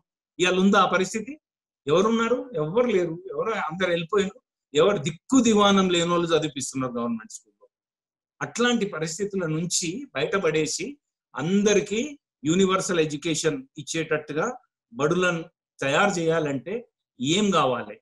ఏం ఏం నిర్మోహమాటంగా ఏం కావాలనో చెప్తే అన్ని మనం పాయింట్సే తీసుకుంటాం కనుక తీసుకున్నాక వాటన్నిటిని ముందర పెట్టుకొని మనం ఒక రోజు ఆ రోజు మనం ఈ బయోడైవర్సిటీ డాక్యుమెంట్ ప్రిపరేషన్ కోసం రిపోర్ట్ ప్రిపరేషన్ కోసం ఎట్లయితే ఆ గెస్ట్ హౌస్ పోయి రెండు రోజులు మూడు రోజులు క్యాంప్ చేసి కూర్చున్నామో అట్లా ఒక మానిటర్ పెట్టుకొని ఆ ప్రొజెక్టర్ పెట్టుకొని వేరియస్ పాయింట్స్ నుంచి వచ్చిన కాపీలు అన్ని అందరి దగ్గర పెట్టుకొని ఏ టాపిక్ వచ్చినప్పుడు ఏ వాల్యుబుల్ సజెషన్స్ ఉన్నాయో తీసుకొని వాటన్నిటిని ఒక కాంప్రిహెన్సివ్ ఇంటిగ్రేటెడ్ రిపోర్ట్ తయారు చేస్తే అది ఒక వాల్యూ డాక్యుమెంట్ అవుతుంది అని నా అభిప్రాయం.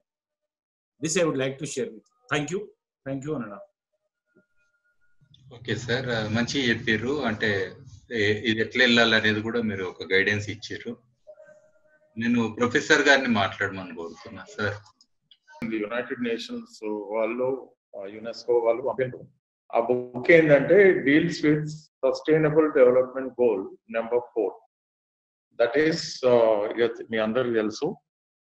Quality education and inclusive education for everybody ఆ బుక్ ఫోర్ హండ్రెడ్ పేజెస్ ఉంది.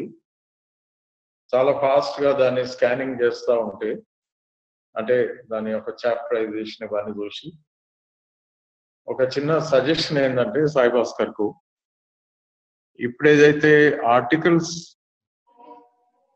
ఎంకరేజ్ చేసే క్రమంలో వాళ్ళకు సస్టైనబుల్ డెవలప్మెంట్ గోల్ ఫోర్ మొత్తం అంటే వాట్ డస్ ఇట్ మీన్ అనేది మొత్తం చెప్పాలి.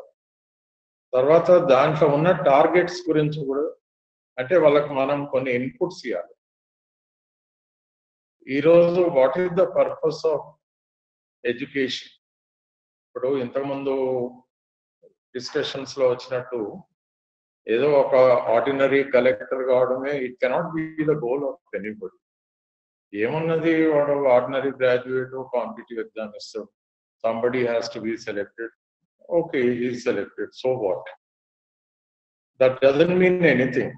So collect collector లేక ఒక సింపుల్ మనకు కనపడే కొన్ని top positions that is not the goal of higher education ఇక్కడ రైట్ ఫ్రమ్ స్కూల్ ఎడ్యుకేషన్ నుంచి ద హైయెస్ట్ పాసిబుల్ ఎడ్యుకేషన్ ఎట్లుండాలంటే బేసికలీ యూనిఫార్మిటీ ఉండాలి. నెంబర్ వన్ రవీంద్ర గారు చాలా క్లియర్గా చెప్పండి అబ్సల్యూట్ యూనిఫార్మిటీ ఇక్కడ జస్ట్ ఫ్యూ పాయింట్స్ ఆ పుస్తకం నాకు బాగా నచ్చింది. దాంట్లోకి వెళ్ళి వాళ్ళు ఎడ్యుకేషన్ స్టార్ట్స్ ఎక్కడి నుంచి అంటే పుట్టిన బేబీ అక్కడి నుంచి లెక్క తీసుకోవాలి. చాలా కాలం two thousand five hundred years ago Plato దాని గురించి చాలా క్లియర్గా చెప్పడం జరిగింది. But that was an ideal state. అదొక ఆదర్శ రాజ్యం ఆయన ఒక ఐడియల్ కండిషన్స్ను ఇమాజిన్ చేసి రాశారు. ఆ రిపబ్లిక్ అనే బుక్లో అది ఉంది. కానీ the same thing we're witnessing now. SDG four presuppose this. A wonderful level playing ground at the pre-primary level itself. ఇది ఎందుకొరకంటే ఆ చైల్డ్ డెవలప్ కావాలంటే we have to ensure the level playing ground అంటే పాప తినే తిండి వాళ్ళు ఉండే పరిసరాలు ఎవ్రీథింగ్ కౌంట్స్ సో ఆ లెవెల్లో how are we going to ensure level playing ground ఉన్న వాళ్ళకు లేని వాళ్ళకు అది మనం చాలా సీరియస్గా ఆలోచన చేయాలి. Definitely the rich will I mean their kids have the greater advantage absolute clean conditions excellent food nutrition parents are highly educated వాళ్ళ ఇన్పుట్స్ ఉంటాయి. క్షణ క్షణం you know and new gadgets electronic and so on so definitely they have a edge ఆ pre primary తర్వాత okay when they go to the school ఆ school ఎట్లుండాలంటే compulsory school district అయి ఉండాలి ఇది మనకి అమెరికాలో చాలా క్లియర్ కనపడుతుంది బట్ ఏది కూడా ఎక్కడన్నా ఉన్నది అంటే అది పర్ఫెక్ట్ సిస్టమ్ అని మాత్రం అనుకోవచ్చు అదొక they made an attempt. So అక్కడ స్కూల్ డిస్ట్రిక్ట్ కాన్సెప్ట్ ఏంటంటే హౌస్ నెంబర్స్ స్కూల్కి అలాట్ అవుతుంది ఆ హౌస్ నెంబర్స్ ఆ ఇళ్ళలో ఉండే పిల్లలందరూ కంపల్సరీ ఆ పర్టికులర్ స్కూల్కి పోవాలి. అండ్ ఆ పర్టికులర్ స్కూల్ స్కూల్ డిస్ట్రిక్ట్ అన్నప్పుడు అది గవర్నమెంట్ స్కూల్ అండ్ గవర్నమెంట్ ఏం చేస్తుందంటే దానికి అంటే వాళ్ళ చాలా అడ్వాన్స్ ల్యాండ్ యూజ్ ప్లానింగ్ ఉంటుంది కనుక minimum fifty acres hundred acres school కొరకు అలాట్ చేస్తారు.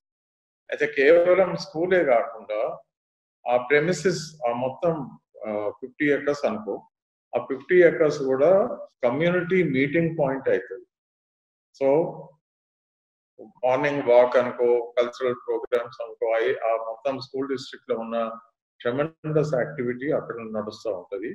And that becomes the biggest integrating agency ఇంకో అడ్వాంటేజ్ ఏంటంటే ఒక ప్రాంతంలో ఉండే పిల్లలు అదే ప్రాంతంలో ఉండే ఒక కామన్ స్కూల్కు వెళ్ళిండ్రంటే వాళ్ళందరూ కూడా they begin to grow together.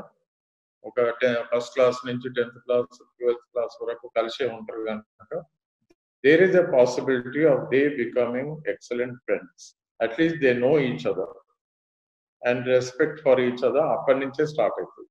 సరే అది దాని తర్వాత then we go a little further ఈడ స్కూల్ డిస్ట్రిక్ట్లో the most important point is ఆ ఇంటి నెంబర్స్ ఏవైతే అలాట్ అవుతాయో ఆయా ఇళ్ళలో ఉన్న పిల్లలందరూ స్కూల్కు వస్తున్నారా లేదా అనే రెస్పాన్సిబిలిటీ ఆ స్కూల్ మేనేజ్మెంట్ అంటే వాళ్ళు కూడా government school you may call them the headmaster principal ఏ పేరైతే ఏముంది కానీ అబ్సల్యూట్లీ వాళ్ళ బాధ్యత.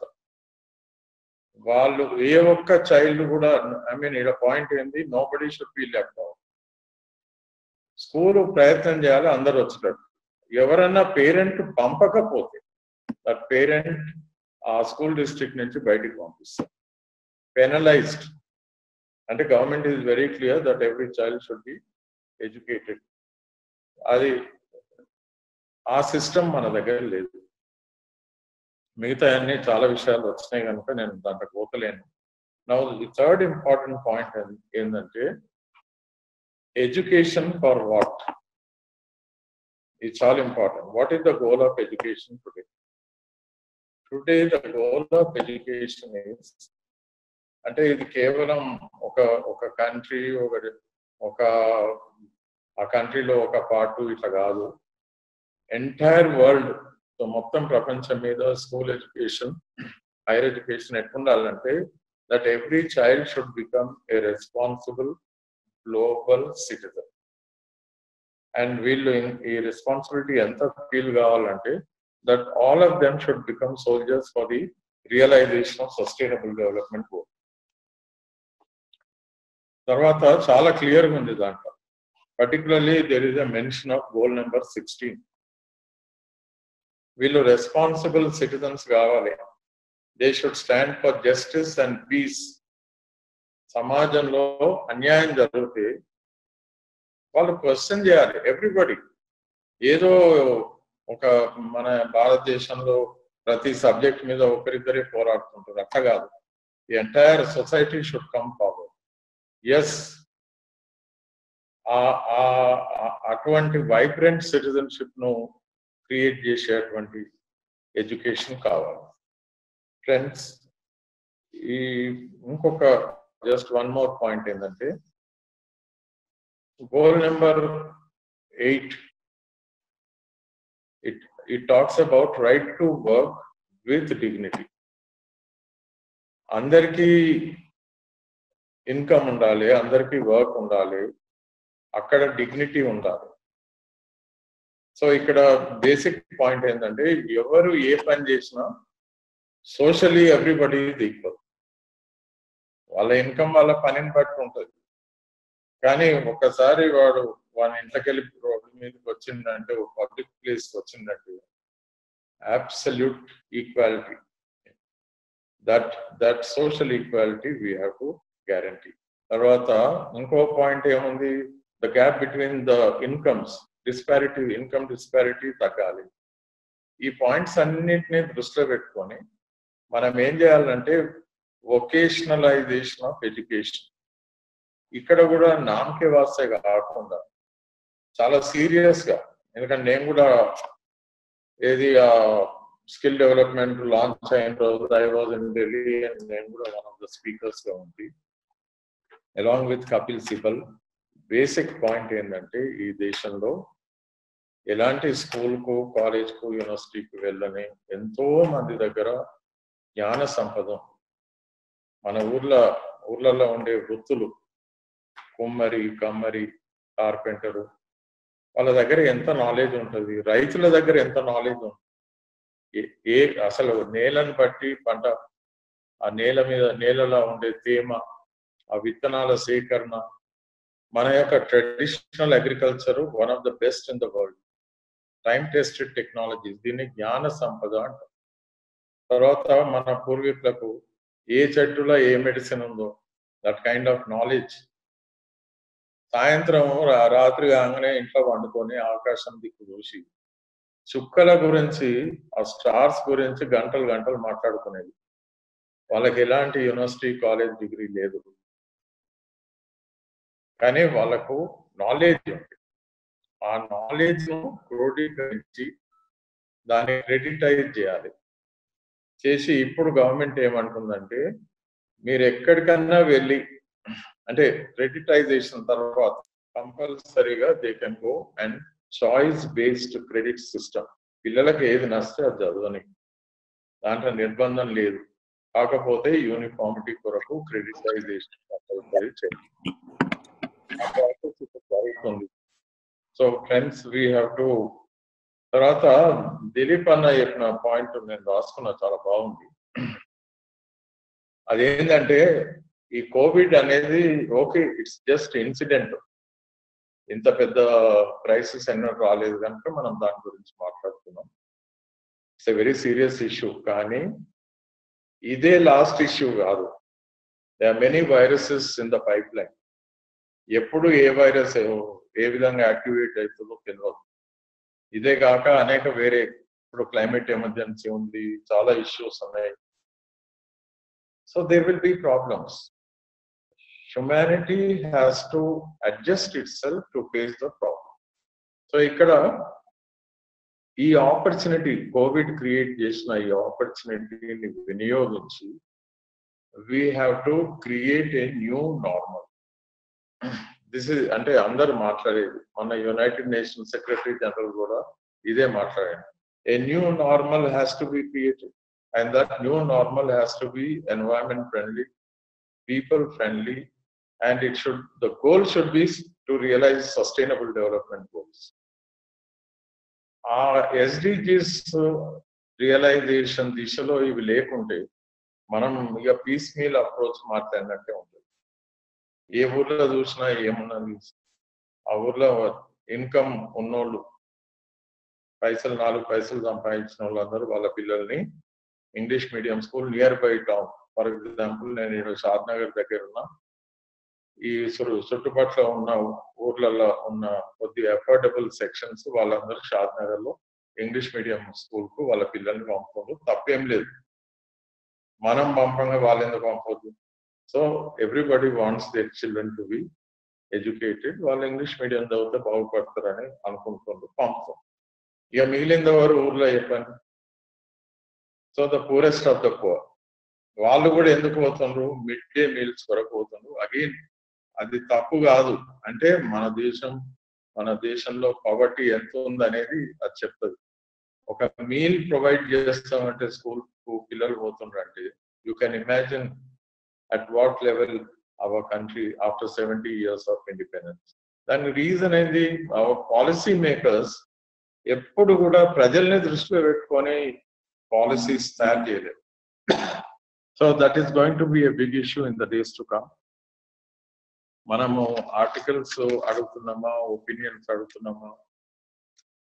ఇప్పటి వరకు అది కాల్ఫర్ చేయకుంటే డెఫినెట్లీ వీ హ్యావ్ టు వాళ్ళకు కొంత సపోర్టింగ్ మెటీరియల్ ఇవ్వాల్సి వస్తుంది sustainable development goal plus all the targets కేవలం దాంట్లో ఉన్న టార్గెట్సే కాదు కొత్త టార్గెట్స్ కూడా వీళ్ళు ఏదైనా అనుకుంటే they can be innovative creative enough to add a few more thank you అన్న for giving this wonderful thank you sir I think ఇప్పుడు అంటే whatever points have been raised by each one of you ఆ ఒక రిలెవెన్స్ and importance ఇంకా తెలిసి వస్తుంది యాక్చువల్గా ఇది ఇప్పుడు ఆర్టికల్ లెక్క అడగాలనా సజెషన్ లెక్క అడగాలనా ఈ వస్తే కూడా డిఫరెంట్ మోడల్స్ వస్తాయి మనకు. రికమెండేషన్స్ లాగా అడిగినా కానీ ఒపీనియన్స్ అన్నా కానీ బట్ అది మళ్ళా కాంప్రిహెన్సివ్గా మనం అర్థం చేసుకొని దాన్ని ఒక క్రోడీకరించి ఒక దగ్గర రాయడం అనేది కూడా ఒక పని అవుతుంది దిలీప్ రెడ్డి సార్ అన్నట్టు దగ్గర కూర్చొని మళ్ళీ చేయాల్సిన పని అవుతుంది అయితే దీని అవుట్ లైన్ కూడా ఇప్పుడు రీఫ్రేమ్ చేయాల్సింది కూడా మళ్ళా it's a bigger challenge no ఇవన్న వాళ్ళకి ఎట్లా కమ్యూనికేట్ చేస్తాం వాళ్ళు ఫోన్లలో రకరకాలు అడుగుతారు మరి. సో ఇది అంటే the thing has become bigger యాక్చువల్గా. It is not such an easy thing ఒక కాంపిటీషన్ కాల్ ఫర్ చేస్తే పని అయిపోతుంది అన్నట్టు లేదు. మరి దానికి మనం ఎట్లీస్ట్ లేదంటే రెండు మూడు ఫోకస్డ్ ఏరియాస్ని ముందు వాళ్ళకి అవుట్ లైన్ ఇచ్చి అందులో వర్కౌట్ చేయమని అడగాలనా? ఇట్లా అనేది కూడా ఒక ఆలోచన.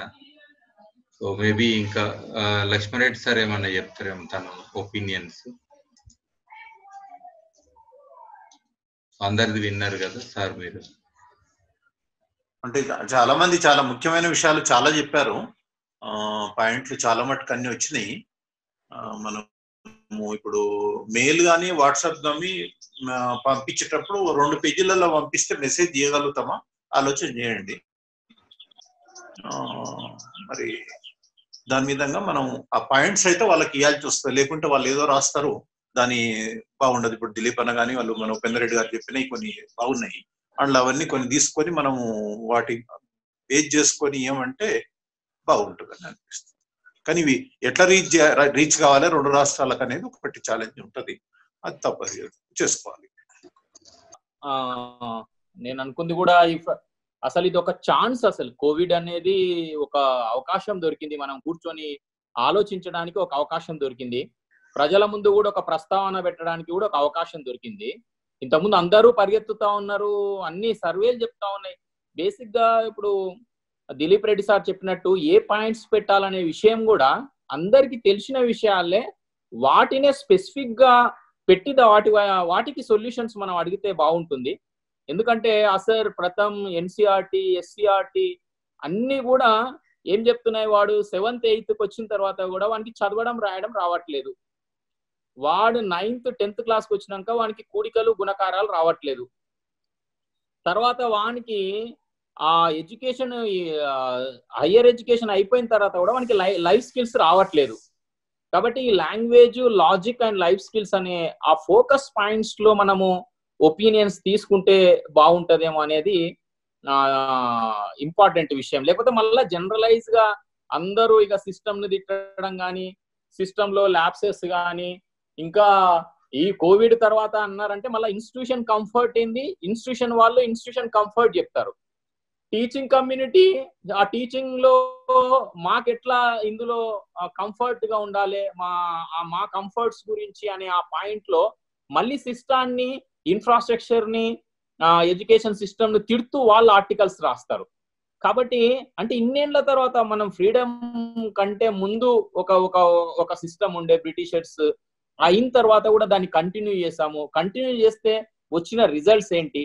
ఆ రిజల్ట్స్ని మనం ఏ విధంగా ఇప్పుడు ఉన్న దాంట్లో ఇప్పుడు ఒకసారి ఒక్కసారైనా రివ్యూ చేసుకుందాం. ఇన్ని సంవత్సరాల తర్వాత నేను చెప్తున్న టాప్ ఫిఫ్టీన్ పర్సెంట్ అది ఇప్పుడు ఐఐటి వస్తుందా ఇది వస్తుందా అనేది కాదు. నాకున్న సిస్టమ్ నాకున్న అవగాహన ప్రకారం అయితే సర్టిఫికేషన్ చుట్టూ ఎడ్యుకేషన్ సిస్టమ్ రన్ అయింది. తర్వాత టాప్ ఫిఫ్టీన్ పర్సెంట్ కోసమే ఆ అవగాహన చేసుకునే స్థాయి ఉన్న వాళ్ళ పిల్లల కోసమే ఈరోజు ఎడ్యుకేషనల్ ఇన్స్టిట్యూట్స్ రన్ అవుతున్నాయి. మిగతా ఎయిటీ ఫైవ్ పర్సెంట్ పిల్లల్ని ఈరోజు సిస్టమ్ వదిలేసింది. టోటల్గా వదిలేసింది. అది ఉపేందర్ రెడ్డి సార్కు చాలా క్లియర్గా తెలుసు. మరి ఆ ఎయిటీ ఫైవ్ పర్సెంట్ చిల్డ్రన్స్ గురించి మనం మాట్లాడదామా? ఫిఫ్టీన్ పర్సెంట్ గురించి మాట్లాడదామా? ఒకవేళ ఫిఫ్టీన్ గురించి మాట్లాడితే ఇంక ఇది ఆన్లైన్ ఎడ్యుకేషన్ ఇవ్వాలి ఇంకా ఇది ఇవ్వాలని ఫిఫ్టీన్ గురించే ఫిఫ్టీన్లో ఎట్లా రిఫార్మ్స్ తీసుకురావాలనే విషయంలో అందరూ మాట్లాడతారు. నేను నిన్న మొన్న చూస్తున్న ఆర్టికల్స్ వచ్చిన ఆర్టికల్స్లో కూడా కేవలం ఆ ఫిఫ్టీన్ పర్సెంట్ వాళ్ళ కోసమే అందరూ మాట్లాడుతున్నారు. కానీ అసలు అసలు ఎయిటీ ఫైవ్ పర్సెంట్ పిల్లలు ఈరోజు సఫర్ అవుతున్నారు. ఇప్పుడు ప్రజెంట్ ఎడ్యుకేషన్ సిస్టమ్లో అసలు అసలు పిల్లలు భాషను ఎట్లా అర్థం చేసుకుంటారు? అసలు భాష వస్తుంది ఆ పిల్లలకి లాంగ్వేజ్ అనేది? కానీ ఉన్న ప్రాబ్లంలోనే ఇప్పుడు జగన్ పాదయాత్ర చేసినప్పుడు ఆయన ముందు వచ్చిన సమస్య ఏంటంటే ఆ మేమందరము ఇక రూరల్ స్కూల్స్ అని నమ్మట్లేదు అవన్నీ వదిలేశారు. నేను మా పిల్లవాడిని ప్రైవేట్ స్కూల్కు పంపిస్తున్నా. వానికి నేను ఫీజు కట్టాలి. నాకు ఆ ఫీజు గురించి నువ్వు ఆలోచన చేయి. ఆడ మంచి చదువు ఉంటుందా? ప్రైవేట్ స్కూల్లో ఇన్ఫ్రాస్ట్రక్చర్ లేదు. ప్రైవేట్ స్కూల్లో క్వాలిఫైడ్ టీచర్స్ లేరు. ప్రైవేట్ స్కూల్లో ఈ తెలుగు ఇంగ్లీష్ మీద చదివినా కూడా వేస్ట్. ఇవన్నీ మేధావులు చెప్తున్న వంద విషయాల్ని కామన్ మ్యాన్ ఏం ఆలోచన చేయలే. అయ్యా నా పిల్లవానికి ఇంగ్లీష్ మీడియం స్కూల్ పంపాలంటే నేను పక్క ఉన్న ఊరికి పంపిస్తున్నా. నాకు ఆ రాజశేఖర రెడ్డి గారు పాదయాత్ర చేసినప్పుడు ఆరోగ్య ఆరోగ్యశ్రీ గురించి ఇంకేదో పెన్షన్స్ గురించి ఇష్యూస్ వస్తే జగన్ పాదయాత్ర చేసినప్పుడు ఒక అంటే కామన్ మ్యాన్ దగ్గరికి పోయింది కాబట్టి నేను జగన్ ప్రస్తావన తీసుకొస్తున్నా. కాబట్టి ఆయన దగ్గరకు వచ్చిన ముఖ్య సమస్య ఏంటంటే మేము మా పిల్లల్ని చదివించుకుంటున్నాము. ఆ చదివించుకుంటున్న పిల్లలకి నాకు ఫీజు కట్టలేకపోతున్నాము. మీరు ఆ ఫీజు ఇస్తారా అని అంటే అతను సింపుల్గా ఫిఫ్టీన్ థౌసండ్ అనౌన్స్ చేశారు. అప్పుడు కూడా చర్చ వచ్చింది. గవర్నమెంట్ స్కూల్ పిల్లలకే ఆ బెనిఫిట్ ఇవ్వాలి అని. అరే నీ నీ వ్యవస్థ మీద నమ్మకం లేకనే నేను ప్రైవేట్ స్కూల్లో చదివించుకుంటున్నా. ప్రైవేట్ స్కూల్లో చదివించుకు ఆల్రెడీ గవర్నమెంట్ స్కూల్ వ్యవస్థ నడపడానికి ఒక పిల్లవాని పేరు మీద యాభై వేల రూపాయలు అబౌవ్ ఫిఫ్టీ థౌసండ్ రూపీస్ ఖర్చు అవుతుంది మళ్ళా fifty thousand rupees government school మీద చదివే పిల్లవానికి మీద ఖర్చు పెడుతూ మళ్ళా పదిహేను వేలు ఎక్స్ట్రా ఓన్లీ గవర్నమెంట్ స్కూల్ పిల్లవానికి ఇవ్వాలని ఒక చర్చ వచ్చింది. కానీ దాన్ని బ్లంట్గా కాదు ఎవరైనా సరే నేను ఆ- తల్లి తల్లి ఓడి అనే ఆ స్కీ- అమ్మతో అమ్మ ఓడి అనే స్కీమ్ కింద ఇవ్వడం జరిగింది. ఈడ ఎందుకు ఈ ప్రస్తావన తెచ్చినంటే బ్యాడ్ ప్రాక్టీసెస్లో బెస్ట్ ప్రాక్టీస్ కోసము వ్యవస్థ పనిచేస్తా ఉంది. అంటే బ్యాడ్ ప్రాక్టీస్ ఏంది? ఆ అర్బన్లో వెళ్ళి రవీందర్ గారు ప్రస్తావించినట్టు ఆ ఊరి ఊరి అమ్మాయి అక్కడికి పోవడానికి ఆ, పరిస్థితులు ఏంటంటే ఇక్కడ వ్యవస్థ చిన్న భిన్నమైంది కాబట్టి అక్కడ పోతుంది. ప్రైవేట్ బస్లో పోతున్న కారణంగా ప్రైవేట్ బస్ యాక్సిడెంట్ అయి చనిపోయింది అని. అసలు ఇవన్నీ ఇష్యూస్ అన్ని కూడా మనం చూస్తున్నవే దాదాపు ఇరవై సంవత్సరాల నుంచి మనం చూస్తూనే ఉన్నాం. కానీ ఎక్కడ మనము ఈ చే చేంజ్ని కోరుకుంటున్నాం అనేది ఇది ఒక మంచి బ్రేక్ అసలు నాకైతే అనిపిస్తుంది అసలు ఈ కోవిడ్ వచ్చింది ఎడ్యుకేషన్ సిస్టమ్ను మార్చడం కోసమే కోవిడ్ వచ్చిందేమో అన్న అది వచ్చేస్తుంది. ఎందుకనంటే ఇప్పుడు ఆన్లైన్లో పాఠాలు అంటారు. వాడు అసలు ఆన్లైన్లో పాఠాలకు అసలు అర్థమే లేదు అసలు. ఆన్లైన్లో పాఠాలు చెప్పడం ఏంటి? అసలు పిల్లలు ఏంటి? అసలు అసలు ఏమి అర్థం కావట్లేదు అది కూడా మళ్ళీ ఏది ఏది ఎక్కడ కనెక్ట్ అవుతుందంటే వాడు అది ఆ టెన్ పర్సెంట్ పిల్లల కోసమే ఈ ఆన్లైన్ పాఠాలు. ఆ టెన్ పర్సెంట్ పిల్లల కోసమే ఇప్పుడు ఉన్న ఇన్ఫ్రాస్ట్రక్చర్ని చేంజ్ చేయాలనే ఆలోచన కూడా ఆ టెన్ పర్సెంట్ ఫిఫ్టీన్ పర్సెంట్ పిల్లల కోసమే. అసలు రిమైనింగ్ ఎంతో ఆశతోని కామన్ పబ్లిక్ నా పిల్లవాడిని నా పిల్లవాడు చదువుకుంటే బాగుపడతాడు అన్న ఒక ఆశతోని పిల్లవాడిని స్కూల్కి పంపించిన తర్వాత ఆ- పిల్లవానికి మనం ఏమి ఇస్తున్నాం అసలు ఇవ్వడంలో ఎందుకు వ్యవస్థ? ఈరోజు మళ్ళీ వాడు పదిహేను సంవత్సరాలు ఎడ్యుకేషన్ సిస్టమ్లో ఉండి మళ్ళీ రోడ్డు మీదకి వచ్చి నాకు ఉద్యోగం రాలేదు అని పొట్ట చేతులు పట్టుకొని ఈరోజు మైగ్రేట్ లేబర్గా మారడం అని అంటే ఇది అవమానకరమైన విషయం. కాబట్టి దీనికి సంబంధించి మనము అంటే ఎడ్యుకేషన్ దాని ఇంపార్టెన్స్ ఎడ్యుకేషన్ ద్వారానే మన పావర్టీ పోతుంది ఎడ్యుకేషన్ ద్వారానే చాలా మార్పులు జరుగుతాయని అది ఎడ్యుకేట్ చేసిన కారణంగా కామన్ మ్యాన్ కూడా ఈరోజు కనీసం భోజనానికి కూడా లేని వాడు ఈరోజు ప్రైవేట్ స్కూల్కి కూలీ నాలి అప్పు చేసి పుస్తలు తాడే పెట్టి ప్రైవేట్ స్కూల్కు పంపడం అంత అవేర్నెస్ వచ్చింది. అవేర్నెస్ వచ్చి పిల్లవాడిని బడికి పంపిస్తుంటే మన బడికి వచ్చిన పిల్లవానికి మనం ఎడ్యుకేషన్ ఇవ్వలేకపోతున్నాం. ఇంతమంది మేధావి వర్గం కూర్చొని పిల్లవానికి ప్రాపర్ ఎడ్యుకేషన్ వానికి బతు వాని కాళ్ళ మీద వాళ్ళు నిలబడే ఎడ్యుకేషన్ని మనం ఇవ్వకపోతు ఇవ్వలేకపోతున్నాం. సర్టిఫికెట్ ఇవ్వగలుగుతున్నాం. ఆ సర్టిఫికెట్ ఇవ్వడం కోసం కోసము ఎడ్యుకేషనల్ ఇన్స్టిట్యూట్స్ అన్ని బిల్డ్ అయిపోయినాయి ఆ సర్టిఫికెట్ చక్కర్లో పడి వాని అసలు వాని లోపల ఉన్న స్కిల్స్ అన్నిటిని కూడా మనం ప్రాపర్గా తీసుకురాలేకపోతున్నాము అనేది చాలా ఇంపార్టెంట్ విషయం కాబట్టి ఇది ఒక మంచి అవకాశము. దీన్ని ముందు అన్నట్టుగా దిలీప్ రెడ్డి గారు ఆర్టికల్గా తీసుకుంటామా? అది కూడా ఇంపార్టెంట్ విషయం. మనకు కావాల్సింది ఏంటంటే మార్పుకి ఇది ఒక అడుగు కావాలి. కాబట్టి వాళ్ళకి వాళ్ళకి వచ్చిన వాళ్ళకి ప్రైజ్ ఇస్తామా? ఇంకోటి ఇస్తామా? ఏ కేటగిరీ వాళ్ళకి ఇస్తాము? అనేది అది మన దృష్టిలో నాకు చిన్న విషయం. కానీ ఇది ఒక ఒక సీరియస్గా మీరందరూ పెద్దవాళ్ళు ఉన్నారు కాబట్టి అందరు కూర్చొని దీని మీద ఒపీనియన్ అయినా సరే ఆర్టికల్ అయినా సరే ఏదైనా ఒకటి దానికోసం మనం ఒక కాంక్రీట్గా ఒకటి ఏదైనా బుక్లెట్ చేసి మీరు ఇంత ఎఫర్ట్ చేసి ఆ ఈస్టర్న్ గార్డ్స్ మీద ఎట్లయితే చేసిండ్రో అదొక స్టాండర్డ్ ఇంత అంత ఎఫర్ట్ నిజంగా కూడా చాలా ఎఫర్ట్ చేయాల్సి వస్తుంది. సాయిభాస్కర్ గారు కానీ అందరు కూడా ఎఫర్ట్ చేస్తే మాత్రము ఒక మంచి ఒపీనియన్ వస్తుంది. అది ఖచ్చితంగా ఇప్పుడు అందరూ ఆలోచిస్తున్నారు. ఆలోచిస్తున్న సమయంలో మనం సరైన ఆలోచనని సమాజం ముందు పెడితే ఖచ్చితంగా బాగుంటుంది. దానికి ఇప్పుడు రైజ్ అవుతున్న పాయింట్స్ని వాళ్ళ ముందు పెట్టి దానికి సొల్యూషన్స్ అడిగితే బాగుంటది అనేది. అంటే పిల్లలకి ఇది చదవడం రాయడం వస్తలేదు ఎయిత్ నైన్త్ వచ్చిన తర్వాత. టెన్త్ క్లాస్కి వచ్చినాక కూడా వాడికి కూడికలు గుణకారాలు రావట్లేదు. తర్వాత లైఫ్ స్కిల్స్ వాడు ఇంత నేర్చుకున్న తర్వాత వాడు కనీసం వాని వాని పని వాడు చేసుకోవడము చిన్న ప్లంబింగ్ పని కానీ అంటే ఇంతకుముందు రవీందర్ గారు ఎయిత్ తర్వాత వొకేషనల్ కోర్స్ ఏమైనా చేస్తామా? ఇప్పుడు ఇంటర్ డిగ్రీ అయిపోయిన తర్వాత అమీర్పేట్కి వచ్చి మూడు నెలల కోర్సు చేసి ఆ మూడు నెలల కోర్సులో నేర్చుకున్న దాన్ని వానికి ఉద్యోగం పెడుతుంది వానికి భోజనం పెడుతుంది. మరి ఈ పదిహేను సంవత్సరాలు ఏం చదివినట్టు? ఈ మూడు నెలల కోర్సు ఇచ్చేటట్టుంటే ఈ పదిహేను సంవత్సరాలు ఏం జరిగినట్టు? ఆ పదిహేను సంవత్సరాలకు అవసరమైన ఫండమెంటల్స్ని ఇంత స్ట్రెచ్ చేయాలన్నా ఎయిత్ తోనే బ్రేక్ చేస్తామా? టెన్త్తో బ్రేక్ చేస్తామా? కాబట్టి ఇట్లాంటి మౌలికమైన విషయాల మీద కొంత చర్చ జరగాలి. మంచి డాక్యుమెంట్ వస్తే మాత్రం ఈరోజు బడి పిల్లలకి భయాన్ని పెంచుతుంది. నా గమ్మత్ ఏంటంటే బడి భయాన్ని పోగొట్టాలి బడి ఆనందాన్ని ఇవ్వాలి బడి జీవితం మీద భద్రతనివ్వాలి ఈ మూడు విషయాలు ఈరోజు లేవు పిల్లలు సఫర్ అవుతున్నారు. నేను అట్లే సఫర్ అయినా ఈ రోజు కూడా సిస్టమ్లో మార్పు రాకుండా కారణంగా పిల్లలందరూ చాలా సఫర్ అవుతున్నారు. కాబట్టి కోవిడ్ అనేది ఒక మంచి మనకు బ్రేక్ ఇది. ఇప్పుడు అందరు ఆలోచించడానికి తల్లిదండ్రులు కరప్ట్ అయిపోయినరు. తల్లిదండ్రులు ఒకటి ఆశిస్తున్నారు. టీచర్లు వాళ్ళ కంఫర్ట్ గురించి ఆలోచన చేస్తున్నారు. సిస్టమ్ ఏమో ఇన్ఫ్రాస్ట్రక్చర్ దాని విషయంలో వాళ్ళ కంఫర్ట్స్ ఆలోచన చేస్తున్నారు. వీళ్ళ ముగ్గురి మధ్యలో ఈరోజు పిల్లవాడు నలిగిపోతున్నాడు.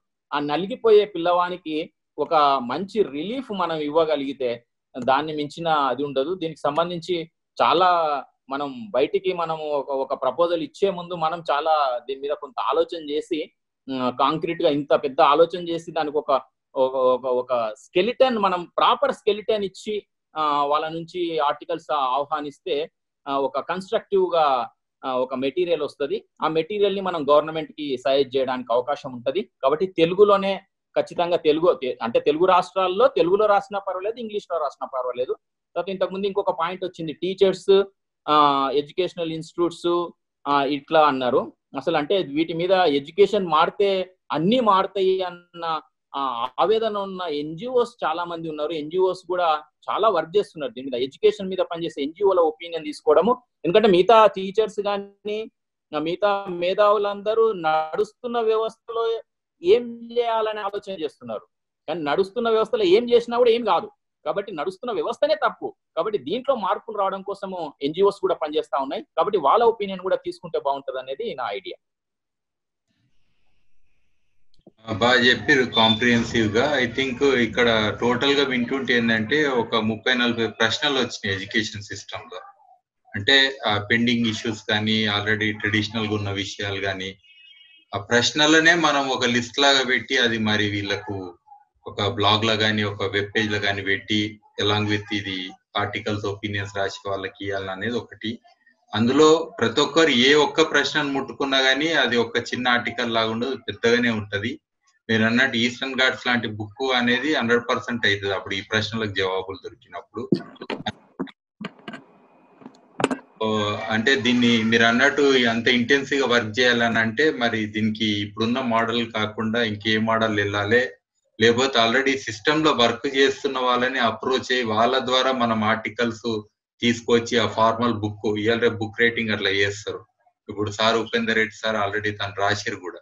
దాన్ని కొంచెం ఎలాబరేట్ చేస్తే వారి పేరు మీద ఆ చాప్టర్ కన్సర్న్స్ ఉంటాయి. సో అట్లా ఇంతకు ముందు సార్ పొద్దున ఒకటి ఈ సస్టైనబుల్ డెవలప్మెంట్ గోల్ ఫోర్ మీద ఎడ్యుకేషన్ మీద ప్రొఫెసర్ సార్ ఫార్వర్డ్ చేసిన దాంట్లో కూడా వాళ్ళు అట్లనే రాశారు. ఒక్కొక్కరు ఒక ఇష్యూ తీసుకొని వాళ్ళ పేరు మీద అది ఇంటెన్సివ్గా రీసెర్చ్ చేసి దాని మీద కంప్లీట్గా రాశారు. సో అట్లా ఎక్స్పర్ట్ ద్వారా మనం తీసుకొని అట్లా బుక్ చేయడం కూడా ఒక ఆప్షన్ ఉంటది. ఒకటి జనరల్ అందరి ఒపీనియన్ కూడా తీసుకోవడానికి ఇది ఒక అవకాశం లాగా ఉంటది. సో ఇప్పుడు అంటే మనకు ఈ చర్చల మనకు ఛాలెంజెస్ అంత చిన్నగా లేదు. అది ఎవరైనా రాయనికే కూడా ఒక చిన్న విషయం కాదు. అండ్ ఎస్పెషల్లీ ఇప్పుడు ప్రెసెంట్ అండ్ ఫ్యూచర్ ఛాలెంజెస్ కాంటెక్స్లో రాయాలంటే కూడా హిస్టారికల్గా మనకు అవుతున్న ప్రాబ్లమ్స్ని తీసుకొని ముందడుకు పోవడం అనేది కూడా పెద్ద ఛాలెంజ్ అని అనిపిస్తున్నది. సో ఈ విషయంలో నేను ఇంకా మన వాళ్ళని ఎవరినన్నా ఎట్లా వెళ్ళాలనేది ఇంకా అంటే క్లారిటీ క్లియర్గా అనిపిస్తలేదు మరి ఇమీడియట్ అయితే. హౌ టు గో అబౌట్ అనే దానికి. చెప్పండి. వుడ్ లైక్ టు సజెస్ట్ చెప్పండి సార్. మీరు అన్నట్టు సమస్య పెద్దగా ఉంది గనక సమస్య జటిలంగా ఉంది గనక ఆ మనకు ఇది పెద్దగా కనిపించే ఆస్కారం ఉంది. నథింగ్ రాంగ్ కాకపోతే ఏంటంటే ఉపేందర్ రెడ్డి లాంటి వాళ్ళు రవీంద్ర మాధవ్ రెడ్డి లాంటి వాళ్ళు వీళ్ళు చాలా కాలంగా లోతుగా ఈ అంశాలని పరిశీలిస్తున్నారు కనుక మనకు by reflecting multiple minds spread over different sections of society and different areas of society and different age groups నుంచి ఇన్పుట్స్ వచ్చిన తర్వాత కూర్చొని ఒక ఒక ఒక డిమాండ్ డాక్యుమెంట్ తయారు చేయడానికి మాత్రం పెద్ద కష్టం అవుతుందని నేనైతే అనుకోను. We can prepare that is my belief okay sir